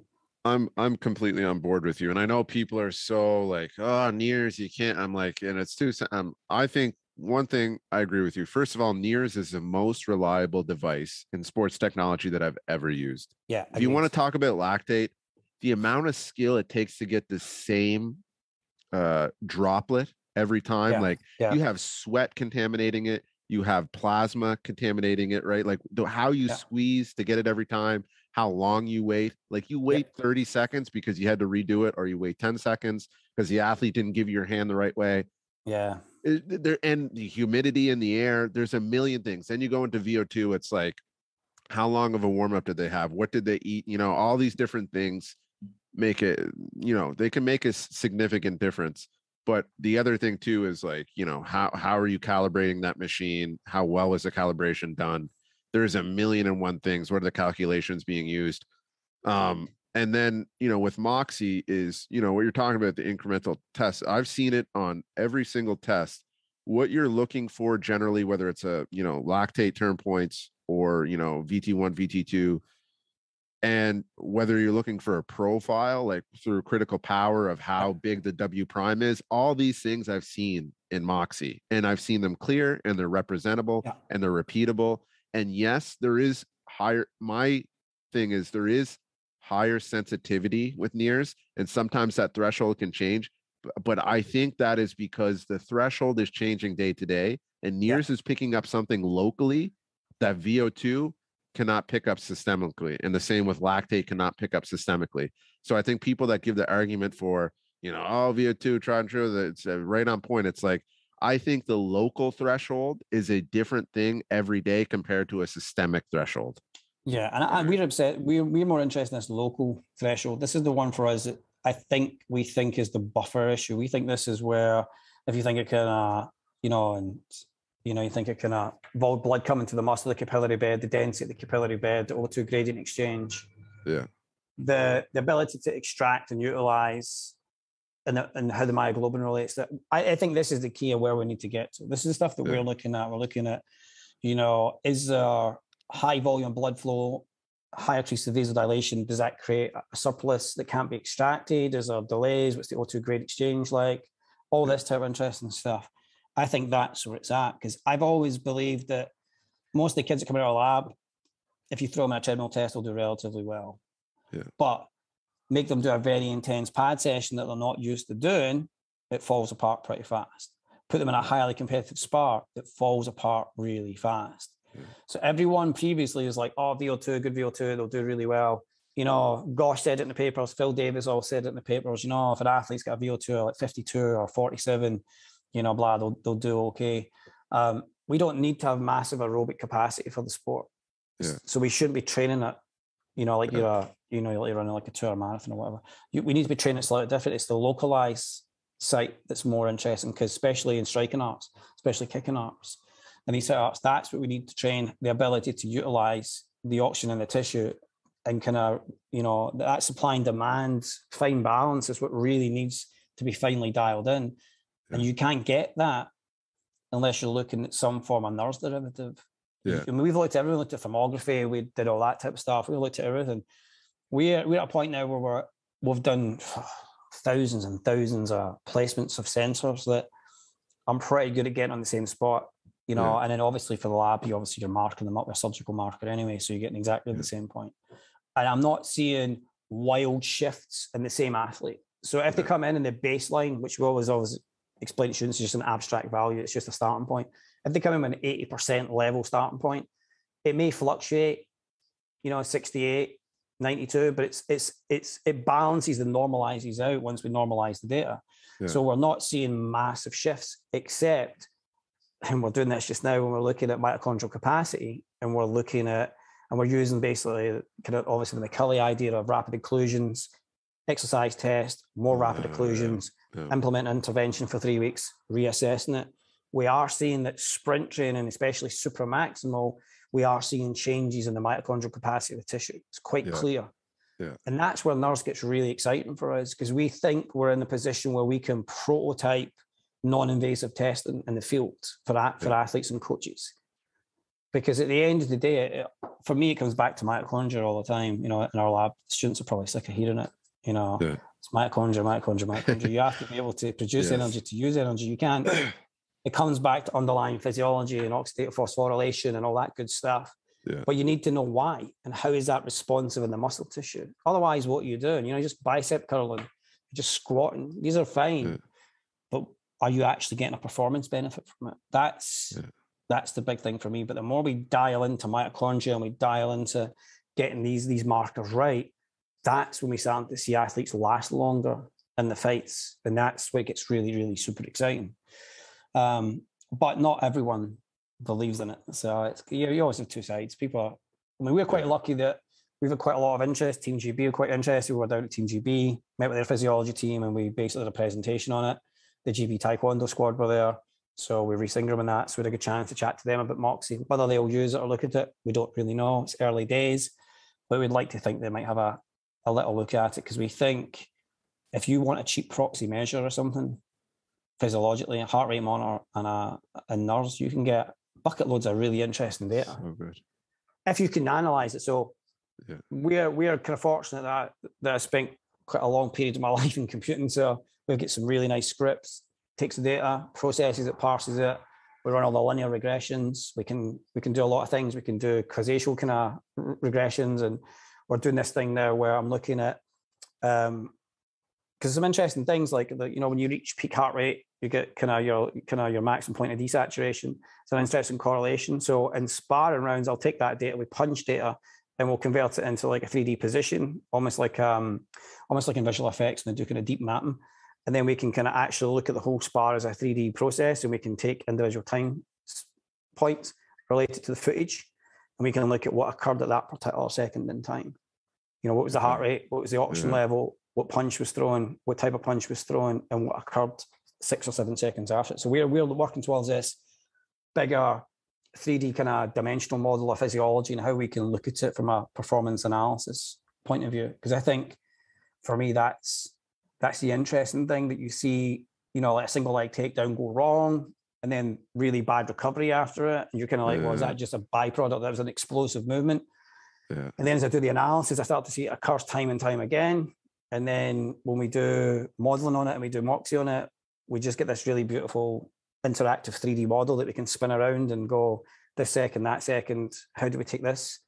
Yeah. So we're we're probably doing analyzing Moxy data slightly differently to other people. We're a bit more out the box. We're a bit more like we have a sport that has time and we have physiological data. We have movement also. And if we track that movement and we track it with the physiological data, can we marry it up and look at it in 3D space? Yeah. Which we can. And then again, so it can real interesting things about distal correlations between this point in time, that point in time, what the rate of change was, the volume of work that's thrown, the punches that were thrown, and how all that maps to physiological metric. And that's it's basically my PhD. That's kind of what we're looking at. It's just kind of slightly different, I think, to what other people are are doing. Yeah. Because I'm I'm only interested in, I guess for me, as much as I love the lab, it's for me is about how do you actually apply it at the end of the day. Because we could do loads of papers looking at the fatigue rate or the rate of decay in 20 punches on the fourth fourth platform. And I Yeah. could get them published a relatively three star ref framework Yeah. and tick all the boxes for the uni as much as I bloody want. But it's not going to change how somebody fights. It's not going to change how somebody recovers. So it's really of no interest to me. And I'm I'm lucky, like I'm not a 27 year old PhD student. I'm a 49 year old miserable, moaning, grumpy PhD student. So Yeah. I'm only interested in things that really appeal to me. I have that luxury that everything I do is performance and combat. So let's do it. One of the things we do want to look at is we want to do 3D motion capture with NIRS, EMG, and ground reaction force, and look at you know what is the implication of ground reaction force on biomechanics striking, and how does that then forward relate to oxygen desaturation, resaturation values, and recovery. So we can get a better picture. So yeah, so we're super geeky. For all blokes in the lab working on into all I- of crazy stuff. I think that that is a. It's funny because like when I see what you're doing with fighting, it's kind of like there's such a sep- separation from what's currently going on in the research. Like I Yeah. feel like people wouldn't even be able to, like if they were to read what's currently out there, there's no way that they would think what you're doing was it is in the technological capability and methodo- methodological capability. Sorry, um, uh capability of you know where research is at it's like you're studying what the questions that should kind of be being asked and answered versus what you know they're still stuck on like they think like i don't know maybe it's this thing where they think oh we have to understand everything about weight cutting before we ask a question we have to have, understand everything about incremental exercise tests and VO2 max tests with uh, VO2 max tests with fighters before we ask. It's like I don't really think that's you know applicable, and I think it's a lot of it. It's it's just dogma carried over from endurance sports and other things. Yeah. Um, and it's like, but what you're talking about is because fighting, like eh, just like you said so many times in this podcast, your VO2 max is really kind of irrelevant for the most part. Like I've seen a fighter come in with a 66 VO2 max. Guy barely runs. He smashed most of the runners on even on the actual speed on the treadmill test itself. It's like, and you know what I mean? He he's not known for his gas tank. He's not known at all for his gas tank, Yeah, to put it that way, yeah. right? Like he's got decent cardio, but nowhere's near. And and it's it's basically, you know, I think people are chasing a lot of the wrong things in fighting sometimes. It's it's how can you manage your physiology in the ring? And I think that's Yeah. the big difference of what you're measuring. And Yeah. I've tried to listen to like, you know, what the you know UFC Performance Institute and some of the stuff that they're doing. I don't know how much of that they're doing. I'm not not sure. any of it. It's it's Yeah. a funny thing because that, that that's probably the biggest comparison we get. when people ask me, I don't have anything to do with Duncan French or, or what they do. I- I've read the handbook. Yeah. And it looks it just looks like the same old stuff to me. It doesn't Yeah. look like what, what you know. I, I think so. I'm in a very lucky position because after my master's degree, uh, I had lots of options, and then obviously I spent three years of using Moxy before I even took up a PhD. And I just was very lucky that when I was looking for universities, that John Babraj was kind of batshit crazy enough as a supervisor to go, I love combat sports and I work with world champion kickboxers. So this is a marriage made in heaven. And it turns out the uni's only 25 minute drive away from my house, which is an even bigger benefit. And John is kind of as crazy as I am. So, so you know, like we've converted the labs, we've got force plates in the walls and all that stuff for striking. Mm-hmm. So so John's given me the freedom to say, well, what is it you really want to know about the sport? And let's build the PhD run about what you want to, to find out rather than a conventional, oh, we'll do a Wingate test, we'll do this test, which are easy to do, right? The other thing is, is I'm doing my PhD in two years. So I mean, I'm smashing through mines. And that again is just because I, I have access to some good athletes. But so I have a, a different drive to most people because once my PhD is done, we then move into the more exciting realm of postdoc work. We get into some really good stuff because this is just foundation level stuff for me at the moment. It's just building the roadmap of what do we have, what can we see, then we can start layering everything on top and really get into like why, like so basically. After this, we'll probably get into wireless uh, and kind of tracker-free 3D motion capture analysis and, and start to correlate this to is the glenohumeral joint coming through the right plane of motion? How does that relate to the leg heaviness? Is the body pivoted over the front leg? In which case, is that why desaturation's occurring? If a more Yeah. neutral position was present, would the hip come through more? These are the things that wake me up at three in the morning. And I go, shit. You know, like, so I talk about this quite a lot. Yeah. When I watch, I mean, I tend sparring a lot. And the other big difference we've seen, I speak to my wife about this a lot. And I go, I've left my PhD really late in life. And she'll always say the same thing. She'll go, one, at 27, you would never have had world champion athletes under your belt. So Yeah. that's a non starter. Two, NIRS was never there. Yeah. She said, so you could never have done this PhD at 27. She goes, you could only do this PhD now because everything is just aligned at the right point. So that's it. But the other thing is, is I have over 20 years of coaching. So holding pads, Thai pads, sparring. So when I watch sparring now, it's just like scalar vectors to me. It's just, it's, I'm probably highly on the autistic spectrum, probably. But when I watch it, it's just like, it's just like numbers. Like when I'm sparring, it's like hip position, internal rotation of hip, femur's not in the right place, scapula's not in the right place, leg is heavy here, body's pivoted over the front, should have been neutral. And I just like, I'm like one of these crazy kids in the corner, like Yeah. scoring away. That's how I see sparring now. I can't watch boxing anymore and just watch boxing. It's, it just becomes a case of that position wasn't there. Inside line of attack was compromised. Should have been outside position. Hip would have extended. Arm would have come through. Heads off the line. Wonder what Moxy would have told me. And I just think, you know, and I'm in a very lucky position. Um, but there is no way me and John, we need other researchers doing similar things to build the bigger picture. But Yeah. The problem is, from a university point of view, combat sports is generally an aside project. It's not a main project because it's very difficult to get a high scoring research paper with combat sports. Yeah. And in the UK, there's the Research and Excellence Framework, and most universities want to get three stars or four star papers. Most want four stars. It's very difficult to get a four star combat paper. So the university's focus generally tends to be in endurance based cycling, that type of thing, that they can get a higher scoring paper out of it. Abertay, on the other hand, because we're a small university, are very much a case of no, let's just go super niche and we'll do other, and our asides will be endurance and everything else, but our main focus will be purely combat sports and golf. Which is like, and golf's an interesting one because you think It there's no is. correlation between combat sports and, and golf, but there's actually a really interesting Huge. correlation, yeah, between hip motion, the ability to have disassociation from upper limb and lower limb. And there's a lot of really super interest. And Ashley, who does, uh, who's a biomechanist, is pretty switched on. So he has phenomenal understanding of 3D motion capture. So it's just a perfect marriage that he can do all that when the combat sports environment as well was. So we can take all that stuff and apply it.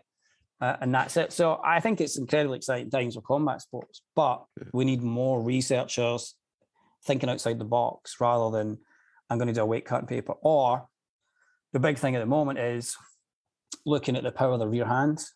That's quite quite, quite common. I see a lot of papers on that. And the other one is looking at how the, the grounds contribute to power generation, which you know, which actually, from an S and C point of view, you've seen a lot more papers. But I think there's only two papers when it actually looks at the biomechanics, the kinematics of striking.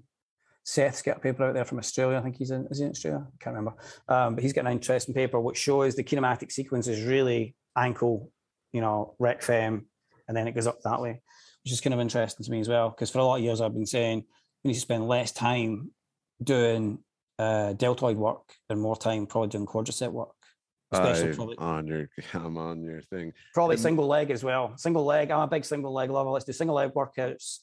And um, what we have discovered is lately with a couple of athletes is going back to old school, really heavy bags and hmm. working good biomechanics. And that we're getting a lot of medial kind of deltoid development. We're getting all that anyway. So hmm. we don't need to be doing any more of it. We- We've got enough of it, and it's more sports specific on the the way the fibers are recruiting. So Right. I think there's a lot of work in that as well. So yeah, I'm just rambling again. Sorry. no, no, I I'm loving it because you're really there's a there's something with MMA like I have a lot of the I have this kind of love hate relationship, but I've stopped really providing information even to people that ask me. Like I I don't mm. go around the gyms that much anymore, but a lot of that reason is just because it just bounces off.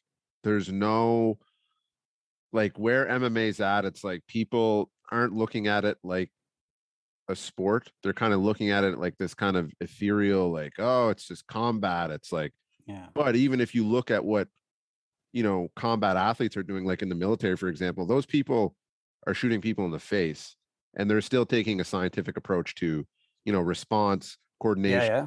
Yeah. Yeah. uh, biomechanics. Like I've been to these courses. I know what's going on in those. sorry, excuse me. But with fighting, it's just kind of like, oh no, it's you know the same old strength and conditioning and same old like. What what I tell people is, first of all, we need to move the physiology, because if you don't have the underlying physio, what do you think? Why do you think Nate Diaz is is is a good MMA fighter? Do you think he's strong? You know what I mean? Do you think he's Yeah. fast? Do you think what what is it about him? Right? He throws Yeah. two punches. He throws Yeah. two punches. How can he outbox someone throwing a jab and a right hand? Right? And he's slower than anything. He's got zero strength. Why is he a good fighter? Well, one reason he's got a very good en- endurance base, right? Yeah. But the other thing yeah. is economy of movement. Like there's all these little factors. I'm not saying Nate Diaz is a good example of what people should be aiming for, but I don't think people are asking the right question. How could someone, if you take Nate Diaz and you watch him train like just by himself, you would be like, there's no way that guy looks like a good athlete. Yeah. And yeah. I with In you. Yeah. terms of athletes, like, yeah, he's not that good of an athlete, but what makes him good? Because if he can be good, there's something going on there that people are missing, right? There's something going on there that people are missing. One thing is, yeah, obviously, like we said, it's endurance bait, but economy of movement. If you watch his punches, like regardless of whether he's using a a a, a good kinetic chain when he's when he's punching, there is an economy of movement. There's no, there's not a lot of wasted Yeah. movement. And the other thing is, you know, wh- what's going on with the timing there? Like people just, I and I feel like anytime, you know, people, I when I used to teach class, for example, pe- there was there's people that loved my class and there was people that absolutely hated it. And a lot of it were the guys that were fighters and they're Yeah. expecting to go in and sweat. And I'm saying, I'm telling them that we're learning how to fight. We're not we're not doing strength and conditioning right now. You're you have Yeah. your time to do pads. You have your time to do bed bag work. This is a class. We're trying to learn how to fight. And if I'm going to sit here and tell you to, you know, go blow your wad out, you know, in between these drilling sessions and get a big huge sweat on and, you know, ventilation rate going through the roof, like that's missing the point because what makes Nate Diaz a good fighter or or you know all these other people a good fighter like whoever it is you want to pick it's all what's going on in you know their base physiology which you're not going to get in a class right you're not going to get in a class and Yeah. it's the actual psychological tactics ty- tactics it's the strategy it's the technique those are the things that are going to make you a good fighter and if you want to go and blow your wad that's kind of counterintuitive to to getting where you want to go and i think that what you're doing and you said you know there's a question how can it you know does it make us better and yes inherently does you just have to do it right like you're saying like Yeah, and that's. I mean, it. yeah, I mean, I'm a, I mean, I say this all the time. Boxers need to be able to box, so we should be putting. So my big thing is is is I'm a big believer in, in the type of work that we're doing because we see the results, but everything is centered around boxing, the sport. So I want the boxers to technically be proficient. I'm a big lover on technical work, technical sparring, biomechanics. I'm a big, big, big, massive lover in it. My issue is, is I think strength work is starting to overtake other components Yes. of training, right? But if you look at Nate Diaz and you look at Diaz brothers generally, and you look at other athletes, look at GSP, whatever, a lot of their general physical preparation were things they like to do, triathlons, mm-hmm. gymnastics, all these sort of things. I'm a big lover that we should get your general physical preparation out of things you love to do. Because when you love to do something, you will push a little bit harder. Yeah. And if you, because everything we do in the labs, even with Hannah, where our sprint sessions on the watt bike are super maximal. So we we have seen enough, and my supervisor's PhD has been in high intensity for the last 15 years, so John's a bit of an expert in this. But our big thing is is most people don't train hard enough. So if we can give you three 20 second sprints with 10 second break, and you can do it fucking super maximal, and we mean Yeah. super maximal, we will see the mitochondrial capacity change Yeah. three times a week, three times a week, three weeks. We get nine sessions. That's enough to start seeing some structural physiological change. Most people don't want to do it. Most Yeah. people won't do 20 seconds, balls to the wall, all out on the bike because it's too hard. But they'll go and do a 20 mile run with no real effort. A Yes. fucking backpack and two liters Yes. of water. And you're like, well, well, why would we do this when that six hour run could have been two hours technical training?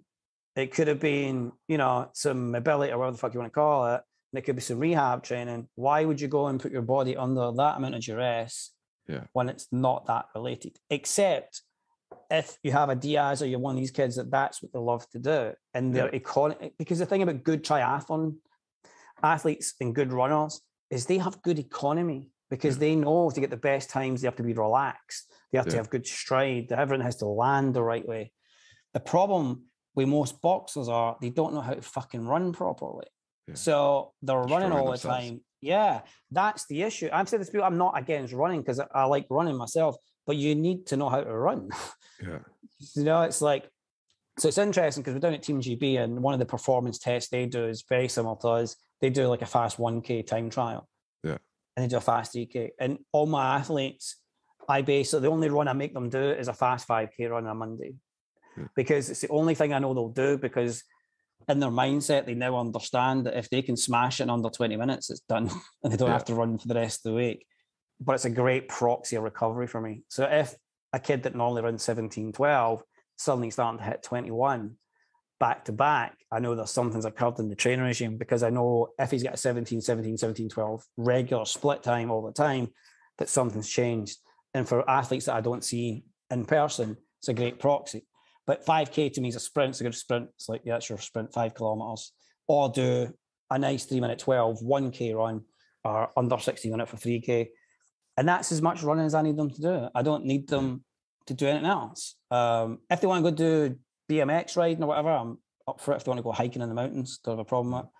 But a lot of times I'm just like, just do something you really, really want to do. Because one of the mm. best athletes we ever had was a really shit golfer, but he loved golf and played golf nonstop. And he had some of the best body shots of any athlete we ever worked with, just because he just spent, he was like meticulous in the range. So he's in the range all the time, just swinging, swinging, swinging, swinging. I mean, he was shit at it, but you know, he loved doing it. So it, for him, that was it. And we, people used to say to me, you can't have an athlete play golf three times a week.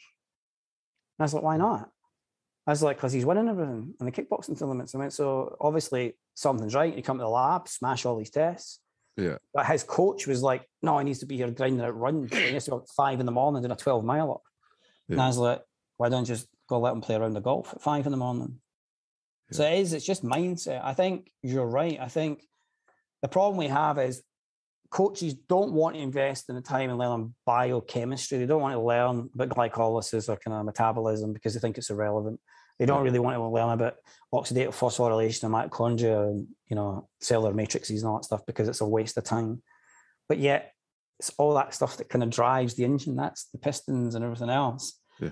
I keep saying to young S and C coaches, if you learn that, you'll be able to identify it and you'll be able to change things to make it much more efficient.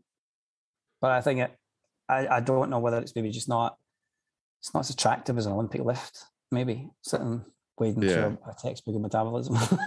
Yeah, because it it takes is. 20 years to learn, right? And it's super fancy and oh, that's gonna have huge payoff for you. Um, but the one thing that you did note there is you know, you're talking about golfers, and this is one thing I've noticed is I think athletes and MMA, it's very unique because MMA is kind of this black sheep when it comes to sport where there's a lot of people that come into it without a really good athletic background Mm. or if they do come into it it's from like a wrestling background or whatever maybe it's a boxing and they don't inherently this is one thing i've noticed people that come in as a good general athlete whether you were just talking about golfing right let's Yeah. just talk about another sport that's very technical baseball if you can yeah. throw an 85 mile an hour fastball 85 mile an hour or 90 mile an hour fastball you are inherently going to figure out how to punch harder a lot different than someone that's coming to it Yeah. from a wrestling background and that's the thing it's like the same thing with golf i play i used to play like 100 rounds a year as a kid what i learned from the biomechanics of golf literally set up a, uh, basically a, a reduct reduction in learning volume and learning load in pretty much every other sport i did because with golf you literally have to swing this tiny little club head into this tiny little ball you know, a hundred times, or you know, if you're if you're going to the range beforehand, 80 times or whatever during a, a, round, right? Depending on how good you are. And if you can connect that tiny little club head to that co- tiny little ball and make it go far, make it go accurate, biomechanically, there's a lot going on there that you have to physically control and inherently, you know, manage. So the thing is, I've always seen is people that have had a wide base in sport and generally some of these more unique sports, whether it's responding to an athlete in front of you, like a hockey player, a soccer player, a football player, that's a skill that you're just not going to get when you're wrestling. Like, yes, wrestling, you're dealing with another athlete, but you're not trying to evade and you're not trying to read moving distances from very, very fast yeah. speeds like that. It's just kind of acute. It's very acute with wrestling. And there's all these different skills that come into play. And what you're talking about, it's like, hey, go learn that because the inherent qualities that they're going to pick up through the things that they like, there is going to be some transfer there, most likely. Whether it's relaxing and, and whatever yeah. it is, but yes, I'm especially, especially young athletes. So we we quite um, we encourage young athletes to take up quite a few different sports yeah. because they're conscious that this sport might not pan out for them, so there may be others. Yeah. But going back to the golf, interesting thing about the golf was because I went on the TPI course because I was fascinated with the kinematics of the golf swing because my mm. golf was really bad and it really frustrated me that I could never do the same thing twice. Yeah. So I did that course. And what I realized with high end golf players is the swing may be clumsy with some of them, but the ability to change the club head last minute to hit the ball was always spot on. Yeah. And that takes real fine motor function to be able to do that at that speed. And that really, really fascinated me on the, the whole idea that they, they have that physicality, that physical ability and kind of, uh, I guess, kind of uh, motor neuron response at the last minute. They can just change the club heads. Even if they're off, they can recognize biomechanically they're yes. off, right? Yeah. So I started getting into this as well with like Hannah and these people is, you know, this whole idea when they're on the pads that not to throw the hand until they felt that they're in the right position to throw the hand. Yeah. Because I think a lot of times in this, and especially in martial arts, mixed martial arts, we just throw things because we throw things. You know, amount of times you come off the pad, you skim it the wrong way, and you're like, and I think, well, why did you throw it? It's because the coach encouraged you to go one, two, one, two, slip, slip. Yeah, Whereas yeah, Whereas I change it up now, now I'm like, I'd rather you through, and this is what we've seen through the NIRS research as well, is that it's better to drill quality movement repeatedly and for the athlete to biomechanically and probably proprioceptively understand the feeling of the right movement and when everything's engaged so that when they spar, when they feel the same opportunity, boom, just lands. Yeah. So we've been doing a lot of this with and NIRS, it was NIRS that let us see that a lot of times when something is repeated, uh, repeatedly thrown the right way and lands at the same time, the efficiency value is is much better. The economy of motion is much better. Yeah. But how do you turn that into sparring? And then through all the data, we looked at them and went, well, in sparring, they're only throwing 50 punches around. So why are we why are we throwing three to 350 punches on the heavy bag around, whereas probably 90% of them are shit quality? Would it not be better just throwing 50 really good explosive proper kinematically sequenced punches on the bag and yeah. then see how that goes into sparring. And yeah. that is where we're having phenomenal results. Yeah. Um, because now we're like, now these kids are landing, everyone's packed, shoulders packed, hips in the right position, good extension. And that was what happened in Hannah's last fight, unfortunately for Alexandra, that in the seventh and eighth round, mm-hmm. Hannah just connected with everything mechanically the right way. And yeah. the girl just, the girl was just, that was it. It's too much for her.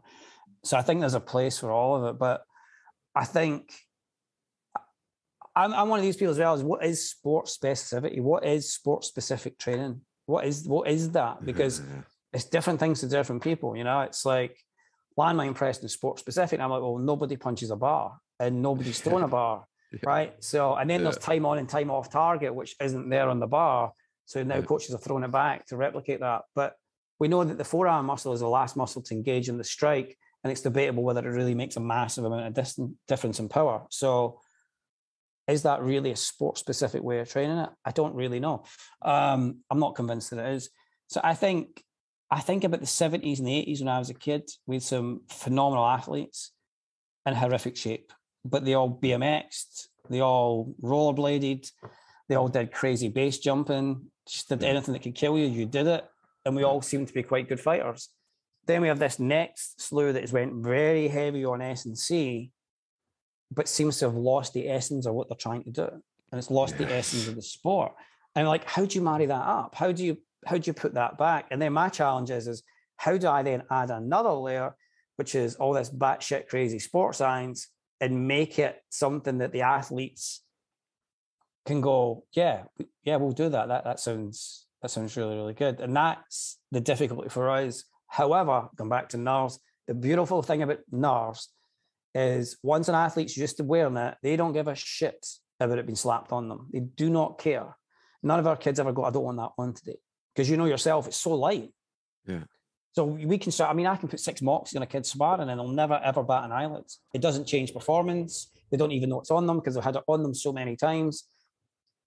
But we get such such amazing data from it, which is it just strikes me as a great tool for that. I don't understand why people are uh, a lot of you know universities I've spoken to have discounted it. Yeah, it's not very valuable. Well, I think one of the reasons why is there's a well maybe it's it's a, it's just because it's not giving you a number, mm. right?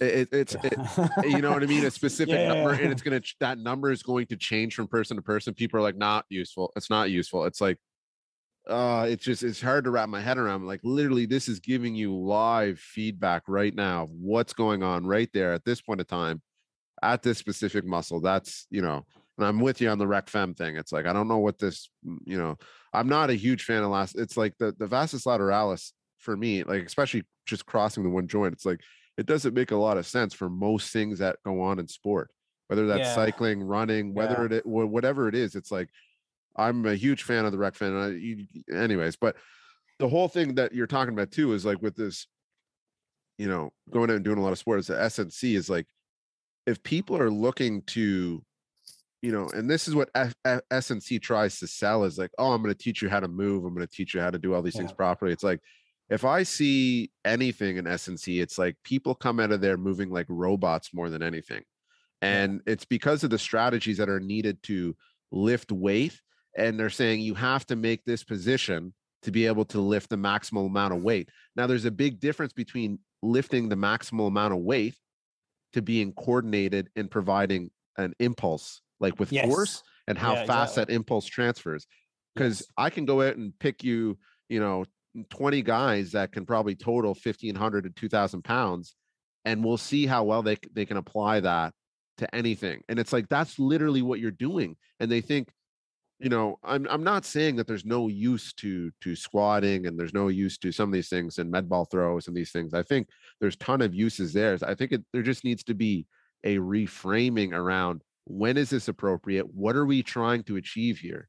Um and that's one thing i wanted to ask you on is like I see this thing with uh, you know repeated sprint intervals, and I, I'm I'm I'm a huge fan of what you're doing with that because I think one, I don't know if you see this as well, is that it would build a lot of the psychological capacities when we're talking about managing effort, managing RPE, managing yeah. maximal effort, recovering, yeah. and also just having the the self efficacy to dig in and know that this is how long it's going to take me to come back out of it and then i can dig in again and i'm going to be safe here. Um, it's not a threat to the system. What, what do you see with that? Like what do you see the benefits no, that, that, that, that, you just hit it nail on the head. So it's a pity hannah wasn't in the podcast today because she will she will tell you that she absolutely hates the sprint sessions. Like she will send me messages you could not play in public because the language would be so blue in them. She really fucking hates them But what she said to me was that, and it's her that coined this whole being comfortable and the uncomfortable. Because she had said to me that, a bit like me, we, me and her spoke about quite a lot. I used to find sparring the most still moment in my life. Like I could have a lot of chaos in my life, but sparring was the most calmest thing. And so I would do, I was a sparrer in my gym because I just felt really still. And for her, it's a little bit like the, the sprint tests. So these sprints, are putting her into positions of discomfort that she doesn't really like. And she knows also that she can never get better at them because the benchmark just keeps going up. So you can never pass it. It's like as good as you get is not as good as you're going to be tomorrow, right? So there's, there's like there's this psychological thing that she knows. Every time she go hit 712 watts, I'm like, no, no, you need to hit 800. And yeah. she's when she gets, she knows she gets eight, 800. I'm going to fall out and go, no, it's not fucking good enough. We yeah. need to have 842. But psychologically, it's been really good for her because she knows that the things that she'll probably tell you if she was here is that she now knows that she can push really, really hard and she can go to a dark place and she knows she's going to be fine. Yeah. And that psychologically for her means that she knows it doesn't matter how gritty the round gets or how bloody the round gets, it's not as hard as doing a 20 second or 30 second Wingate, Yeah. which is crazy when you think about it, right? Yeah. You think of the contact sport. Example, in the fight with Alexandra, the heads clash, the massive hematoma. We were like, ooh, this is not good. And she just was like, yeah, it's all right. Kind of had worse. And all of that's just that whole grinder, the sprints. So I think it fosters, obviously, you're getting the nice physiological adaptations, but psychologically, it fosters a, a temperament that you can't get a lot of other ways. Because when you come to our labs, we will scream at you when you're doing those Wingates to get the best out of you. And they will be the two worst 30 seconds of your life. And if you're very unlucky or you're very lucky, depending on how you look at it, you might be wise three times a week for those sprints. And but after a time, a lot of these athletes psychologically just seem much stronger. You see it in the pad work, you see it in spar, and it's just they can go deeper and harder because they know they've been there. So, Yeah. so how do you? So I think about this quite a lot. I think, well, if we want, and this is why I said uh, when we were chatting beforehand that when I say to coaches that the closest thing to sparring is maybe a Wingate, they don't understand what I mean. And it's physiologically, it's probably close from the demand, that rapid demand, but psychologically, hmm. because when you've done a full-on sprint and you've got 20 second recovery, and we're asking you to beat that sprint beforehand, and you've given it everything, you maybe peaked at 1200 watts, and we're like, no, no, we need 1230. It's a Yeah. dark place to have to go repeat it. So an example with Hannah, she will come to lab, do an incremental treadmill test, follow up by two 30 second Wingate sprints, do the upper crank 30 second Wingate sprints and repeat it. That's what she can now do. When she came to me the first time, she was in the fetal position and she came off the bike. She was like, I'm not doing that. That's that really fucking is. Now it's the opposite. Now she can do them back to back and maintain only roughly maybe 60, 70% watt drop in the second rotation. So we're getting to a position now where she can maintain it, which I would argue, Hannah, if you're listening to this further down the line, you're maybe not working hard enough. Um, that drop off should be more. Um, so I think you're right. I think it's a great tool psychologically. I love all that stuff. I, I know I like it myself. It's just it is, as we would say, gnarly though. But that's the sport. So I would Yeah. argue that that's maybe more sport specific than landmine pressing or hitting a high a hammer off a tire. What do you think? I like. I mean, what's your thoughts? I mean, Yeah. on it. What do you think? No, I'm I'm a huge fan of that. And I used to I tried to bounce this, bounce this off people so many times and being like to the way I look at it is, you know, kind of from this rheostatic mechanism where or, or homeostatic allostatic mechanism, right?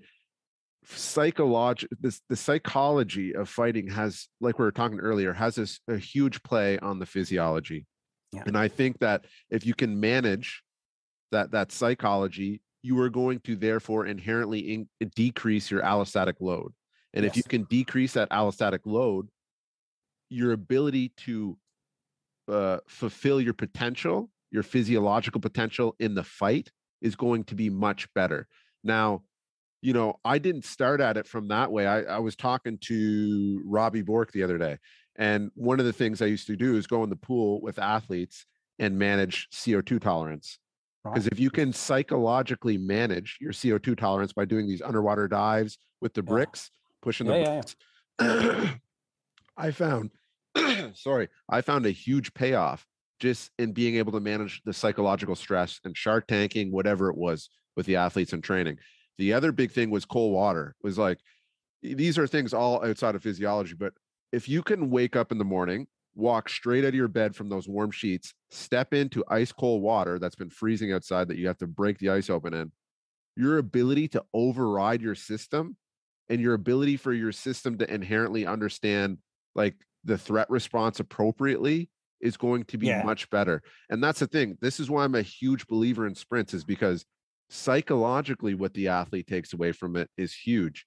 But not only psychologically, if we're talking about physio- phy- physiologically, it is probably one of the biggest drivers for overall performance with fighting.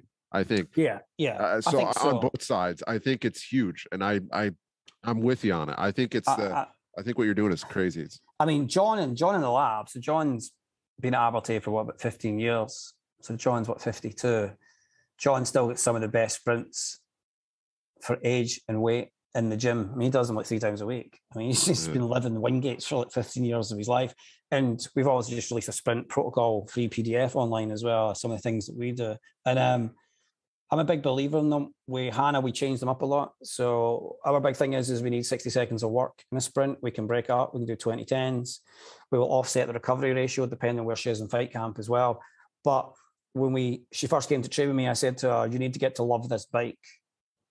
I said, It's never going to love you back. I said, It doesn't work that way. But you need to learn to love this. And she's like, Well, if I can't, I said, Well, just love to hate it. I said, It doesn't matter. Um, because that and the reason we do the bikes rather than all sprints is just purely because we want to take a little bit of um we, we don't want to be hammering the body too much always on the feet um so i like the bike i think it's easy to set up the other thing i like about the bike is is once she dials her settings in on a decent bike it can always be at that setting so nothing changes Yeah. too much so i can get the same torque on the leg positions and everything else um we we get interesting data in the lab on the Lode bike, the Excalibur, because we get foot position and we get power ratios. So Mm. interestingly, we're looking at the NIRS data and we're looking at the ratio between muscle and torque. So we're seeing what the ratio between left leg and right leg is in power generation and how that equates to oxygen utilization. So we're getting really nice data on that as well. Um, and the other thing is, is we get really nice data on symmetry. Uh, If it's too wide, we can correct it. Um, and we just get a lot of really super decay rate data, which is really nice. And that's why I like the bike because even the Yeah. Wattbike, I can get that fit file and I can break that fit file apart and and run the data. Sprint, I find treadmill doesn't work too well. Even the curved ones, I don't think people run hard enough. And outdoors, generally, I find that people don't push as hard. And from the cruelty point of view and the psychological point of view, anyone that's doing bike sessions with us on a Wattbike knows that I'm getting their data. Yeah. Because I've accessed it. So they know I'm looking at it. So it forces them to kind of push a little bit harder because they know I'm, I'll phone them up and go, look, you Yeah. need to repeat that session because it wasn't good enough. Um, and nobody wants to hear that at six o'clock. And then Monday morning, we phone them up going, session wasn't good enough. You need to do it again. Um, so it's a it's a nice biofeedback loop. But I like I, I just is the funny thing was, I think boxing and other combat sports did sprints but didn't really realize what they were doing. Yeah. So I, I know as a kid we did a lot of sprints, but the coach never knew why we were doing them or, or what it was doing. And I always felt growing up that we were fitter when we had the sprint protocols, and we used to only ever do them over summer because we could go outside. When it came to winter, they just disappeared because there was no space in the hall. So I think boxing is one of these interesting sports that had a lot of things right, but purely by accident. Nobody Yeah. set out to discover it. And now I think what happened is, is we've lost a lot of the older style stuff because the new fancy things will come in, and I don't think it's actually, and I don't think it's any better. So I think Yeah. You know, so I'm kind of one of these strange coaches. Like I'm classed now as a legacy coach because of my age, and I sit in these sports science meetings with other boxing coaches, and I'm like very, like I'm very new and very old in the middle, but I can just just leave it. I just, I just don't want the middle section of training development. I just want the beginning and where we are now, and I think that's the perfect marriage when we marry up. Like old school, like 50s, 60s, and the 50s 60s, boxers hitting heavy bags non-stop. There was no focus pads. Do you know what I mean they were just hitting a heavy bag and running? But a lot of them are doing sprints. You look at it, you think a lot of them are just doing sprints and then doing all out sprint sessions on the bag and sparring. Yeah. And probably some maybe some body weight exercises as well. Um, so that's an interesting one because Hannah's routine is predominantly body weight based. It's not, we don't do a massive amount of load. We do some, but we do a lot of quality movement, like proper strict push ups, making sure it's slow down, hold it, slow back up. I just want good range of motion. I just want to see good stability and control and single leg work. That's that's about it. Don't do any Olympic lifting, with many athletes anymore. What I do do though is you're come across the flywheel system, like the K box, the eccentric K-box. Yeah. Yeah. I've got one of them. We use that a lot. We use eccentric overload a lot with athletes that need to maintain weight in lower weight categories. Yeah, yeah. So bantamweights and super bantamweights. So that way we don't do too much hypertrophy and we just get a nice lengthening of the muscle tissue. Yeah. And we can get some, so we can get still get some very nice metrics and get some nice peak eccentric overload. Um, I'm a big lover of eccentric work just for strength and ligaments and tendons because I think at the end of the day, it probably has more benefit than too much bulk because of the oxygen cost. And I think uh, a lot of boxing is very explosive, pivoting, especially the lighter weights. There's a lot of lateral movement, there's a lot of pivots, 360 turns. So I like them just to have nice kind of uh, tendon and, and ligament strength to, to be able to do those movements. Uh, and that's about it, actually. Couldn't Yeah. really sell this program online because there's not much to it. Um, it's Yeah. kind of like quite it's quite basic. We're very Yeah. do we need to do it? And if so, how do we do it properly? Um, If we don't need to do it, why are we doing it? You know, No. and the hardest thing for Hannah and the hardest thing for a lot of the other, like Dean Sullivan and all these kids that we had, uh, he when he was going for his WBC silver, was telling me he had to train less. Yeah. That was for some of these is like a killer. You're like, what do you mean? I need to train less. You're like, you're training too much. You're not recovering. Yeah. And I'm like, but that doesn't mean doing that doesn't mean doing nothing. It just means take your girlfriend go for a really nice walk somewhere. yes. Yes. Enjoy life. Go out, see Yeah. things, touch trees, do whatever you want to do. I don't care. Yeah. But you know, or go play squash, or go play tennis, or go play. I don't care, you know.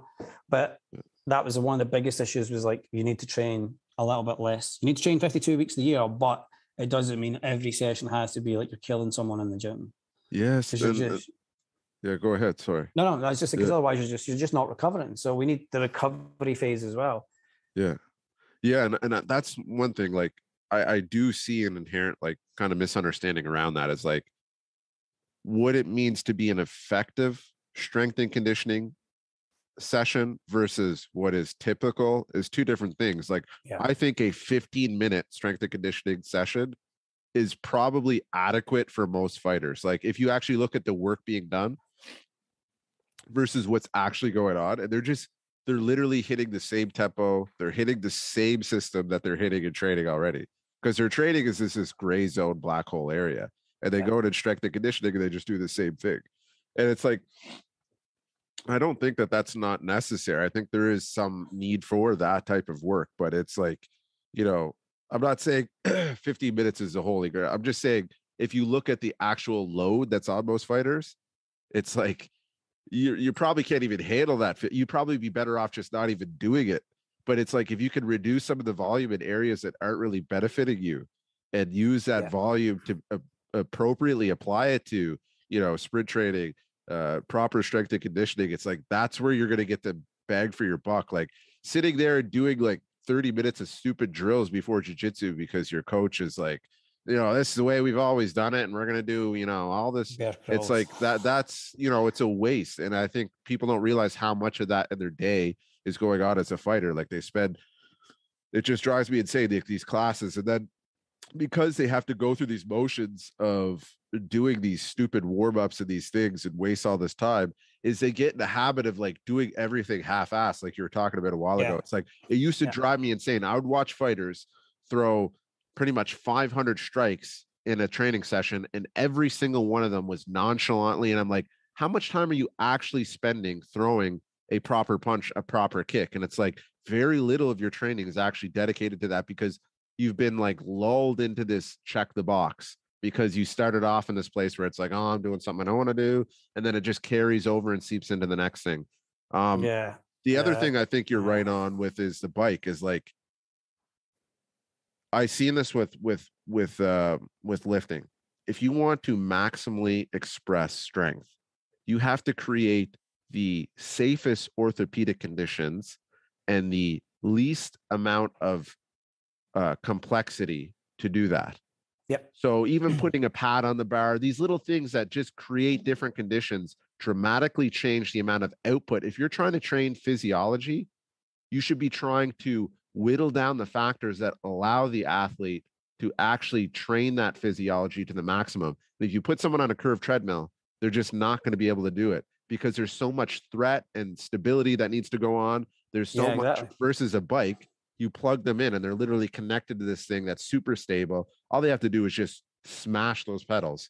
Um, but yeah, I'm dude, there's so much stuff that you're talking about that like if I, would have ran into you when I was a kid, like I I literally I don't think people understand how good they got it, like getting to to work with you. And I think it's, hoping it's, it's hard though. It's funny because if, if you think go back to what you're saying about 500 strikes, Yeah. and you can think you're maybe throwing maybe say 50, 60 quality, so you're maybe throwing about you know 450 bad strikes, and you're doing that three times a week for 10 Yeah. years of your career. The amount of Yeah. bad habits you create. The other thing is it drives me crazy is all this short pad work. Everyone's short. But the aim is to go long. It's not to go short unless you're in the close in the clinch position or you're in that nice tight position. So all that stuff, I, I think coaches just don't really think about why are they doing it or or the position of the length. It, it drives me nuts, right? It just Yeah. you know, which is why I no longer coach as much as I used to coach, which is why I'm doing this. But but I think you're right. It's it's kind of funny. And I think about Brazilian Jiu-Jitsu when I did it, you know, it was all bear crawl warm-ups and all these weird things. You'd be completely fatigued before you even rolled. And then you're like, as you know, you're you're, you're a white or a blue belt, you're just fish for the purples and browns, and you're you're fucked even before you get to that stage. You do five in a row, and you're wondering why Yeah. you're getting tapped out, and you know you get triangle the omoplata. You're like, wow, this doesn't make any sense. It's like we need to train smarter, more efficiently. But the other thing is, is we need to have load. We need, you know, I, I see this when people are in the labs and like the reason we do super maximals is we need that stimulus change because you don't get it often enough elsewhere. We need to give it to you. And the argument I get from other sports scientists is, is but you can't do that all the time. And I'm like, no, but we can do it at least twice a week because it's only 60 seconds of work broken into small, tiny segments. So you can do it. It is achievable. But that's why you see the benefits in lifting when you're doing maximal lifts. There's a reason why the stimulus is so high. So going back to the flywheel, was we were able to do eccentric overload in a very controlled environment. The athletes can do it. And the other thing I like about it is there's no skill to it. So you can get athletes through it much quicker, yeah, and safely. And for me, that's that's what it's all in. But when we get other athletes come in, and a lot of times they're kind of like, "Oh, you don't do back squat and you don't do Zerchers, you're not doing," and I'm like, "No." I'm like, "Why would I spend so much time trying to teach you to back squat when you're never actually going to go that small in movement? You're Yeah. not single leg takedown. You're not doing doubles. You're not having to shoot in." I said it's a very small mini squat position. So theoretically, there's why don't we do quarter squats? Yeah. So I'll just put safety spotters on. I'll just go nice weight. All I want to do is back squat until you touch the safety spotters, explode back up. That's it. Third range of motion. Just give it to me. Bingo. Done. Yeah. Because I just don't think you have to do a lot of it. I, I think it is it is where it is, and it's like I just kind of hope things will get better. Hopefully. Yeah. Um, I can Yeah. live in hope. yeah man you you literally are leading the charge though i think like i'm not trying to like you know pit pit against anyone here but some of the stuff i see of the people out there that are considered like strength and conditioning specialists or sports scientists for for fighting combat sports it's like what they're doing and what you're doing is two completely different worlds so i'm really hoping that you know this stuff starts catching on and people hear what you're saying like this is why i wanted to have you on the show is because i wanted people to hear the dramatic um, departure from what is normally done and what's going on in here uh, with with you guys is yeah so I think there's a I think there's a higher chance that a change may happen in your end of the world versus my end of the world. Um, so I'm kind of I'm hopeful. I'm hoping that we might be over in Florida for a couple of weeks doing some sessions over there. I just think the UK, especially boxing, is it's very very rigid in its approach. Um, you've got a couple of key players that have made a name for themselves now, the S and C. Some of it's good, some of it's really bad. Yeah. But there's no I- I think sports science over here is still pretty trapped in old school VO2 max testing. I don't think there's any, Yeah. you know, if you think about it, like I think we're the only university in Scotland that's actually using Moxy for applied science. Yeah. A lot of universities in England are using the Portamon system. Uh, and I've had discussions with, with Roger over this, you know, because a couple of unis are like, oh, Portamon's got much better clinical validity. And I don't think it has. I don't think it's got any better validity than what actually Moxy has. But even those units with the Portamon are not really using it for applied. It's still very much the same old style of papers that are coming out. I think it's going to take a few people to break away from the mold and go, it may happen when we get our paper out later this year. We should be looking at all the different physiological responses with nerves. I, I'm kind of hoping then people may go, let's do more applied science and get some papers where we can show actually how we use it actually in hmm. the field. Because I, I don't know anyone else that's really using it for combat sports the way we're using it. There's a few people hmm. using it, but nobody's really. I think people are obsessed with this idea of the muscle should desaturate under 20% yeah, and yeah, float around, right? Which I'm not, we're not into that at all. We are yeah that slope exchange. yeah That's that's where it all lies for us. It's that downward slope and that resaturation slope and the correlation between the two of them as rounds progress. and we look at those linear correlations, that's that's where we see you get an idea of how good is your localized muscular function. That's and then there's other bigger there's a bigger questions like how much does heat affect it? You know, because a lot of these boxers, you train them, they have a television fight, you go under the lights, and it's just like it's like being in a sauna. They've never trained for that. So you start to see all the dehydration kick in much sooner. You Yeah. start to see drop off in performance. One of the big things we're looking at fairly soon is is using NIRS in those type of environments to see what the difference is in and out those environments on performance. So we'll have them spar in that environment and spar out that side environment, and we'll correlate it and see. We'll have very similar sparring partners each time, so that we can see what the change is and whether heat has a detrimental effect on skeletal muscle oxygen uptake. So there's an exciting world of PhD opportunities at Abertay University for people that want a PhD because we're doing loads of that type of stuff. So, Yeah. so hopefully it'll change. And the other thing is, I think I kind of wonder how far can we push the cycling uh, and everything else with Moxy and NIRS. Have we reached the end? Jem's doing some pretty cool stuff. I'm kind of like maybe we're just only scratching at the surface of that as well. I mean, maybe scratching.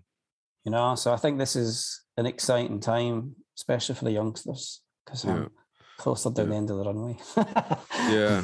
Yeah, no, I'm with you on that. I think we're only scratching the surface. Like, I think some of the stuff that Phil Batterson published with his stuff, yeah that stuff hasn't even been re- repeated yet. Like that, that stuff hasn't been re- reinvestigated yet. So I think we're just scratching the surface, especially with the repeated cuff pressures and all this stuff. Like, there's so much to to glean out of out of NIRS. Listen, like we've already smashed through two hours. I'm gonna have you Wow. back on again because we never even we never even I literally sent Andrew a huge list of questions and topics that we're gonna go over. that's right We might have hit like two of them, if that uh, you know, and it was great. Like I, I this is the way I would rather do it because I feel if you, you know, you rush and you try to get through everything, there's a lot of nuance miss. And I think Yeah, that's yeah. where everything is at, is in the nuance. So I'm glad we did it this way, but I'll be sure to get you back on again. no Um, excellent yeah. So where can where can people find you and where can people find the stuff that you're putting out? um so i'm kind of like hidden um so instagram do you know my so this is how bad it is i don't even know what my instagram is uh the twitter is andrew usher i think instagram maybe the andrew usher Um, and Abertay University, we're starting to put some things out on that. None of the research will come out until it goes through peer review and everything else and goes through the final write ups. And then it'll get published in the usual journals. I'll make that available. But Facebook, not really on that too much, but tends to just be Instagram. I'm trying to increase my profile. Uh, I'm not Yeah. big into socials, though. I'm not massive at it. Strangely, my wife has a bigger following on Twitter than I have, which is interesting uh, because she's a doctor, probably. So the Andrew Usher on Instagram, and I think it's just Andrew Usher on Twitter. I had to think about that there. That's I'll how link it. poor link that it. is. yeah, I don't really post a huge amount. Um, yeah, yeah, you don't post a massive amount either. No, I don't. I like I didn't have social media for like close to the last seven, eight years or something like that. I just got it back because I'm like, "Ah, I gotta gotta I gotta play somewhat of the game. I gotta pretend to be in it. But um, yeah, Yeah. I'm the same. I'm trying now because the university is quite proactive and they're very much like we need to start disseminating all this stuff and get it out there. yeah, So it's kind of like, okay. Um, but I think it's like double-edged sword. I think it's kind of uh, yeah, I'm, I'm forced to read a lot of other posts that I normally would be like, what the fuck? Um, so- it draws, it sucks you into all this, like, oh, and you spend time like wasting your thought into. Uh, occasionally though, I, I occasionally, you know, like Phil and all these people sometimes post up really cool papers though. So sometimes Yeah, it's something I've yeah. missed, and I'll be like hunting that paper down. So, Yeah. um, so Oh, I yeah, ya. so, I mean there, is- there is a plus, but yeah, that that's it. Um, Yeah. yeah, my little corner of the web. Yeah. Well, folks, I hope you enjoyed that. Uh, really appreciate Andrew giving up his time today, and and I hope you guys take a lot from this and and spread the message. Um, whether you're in whatever endurance sport or fighting or boxing or whatever it is, and uh, we'll catch you later.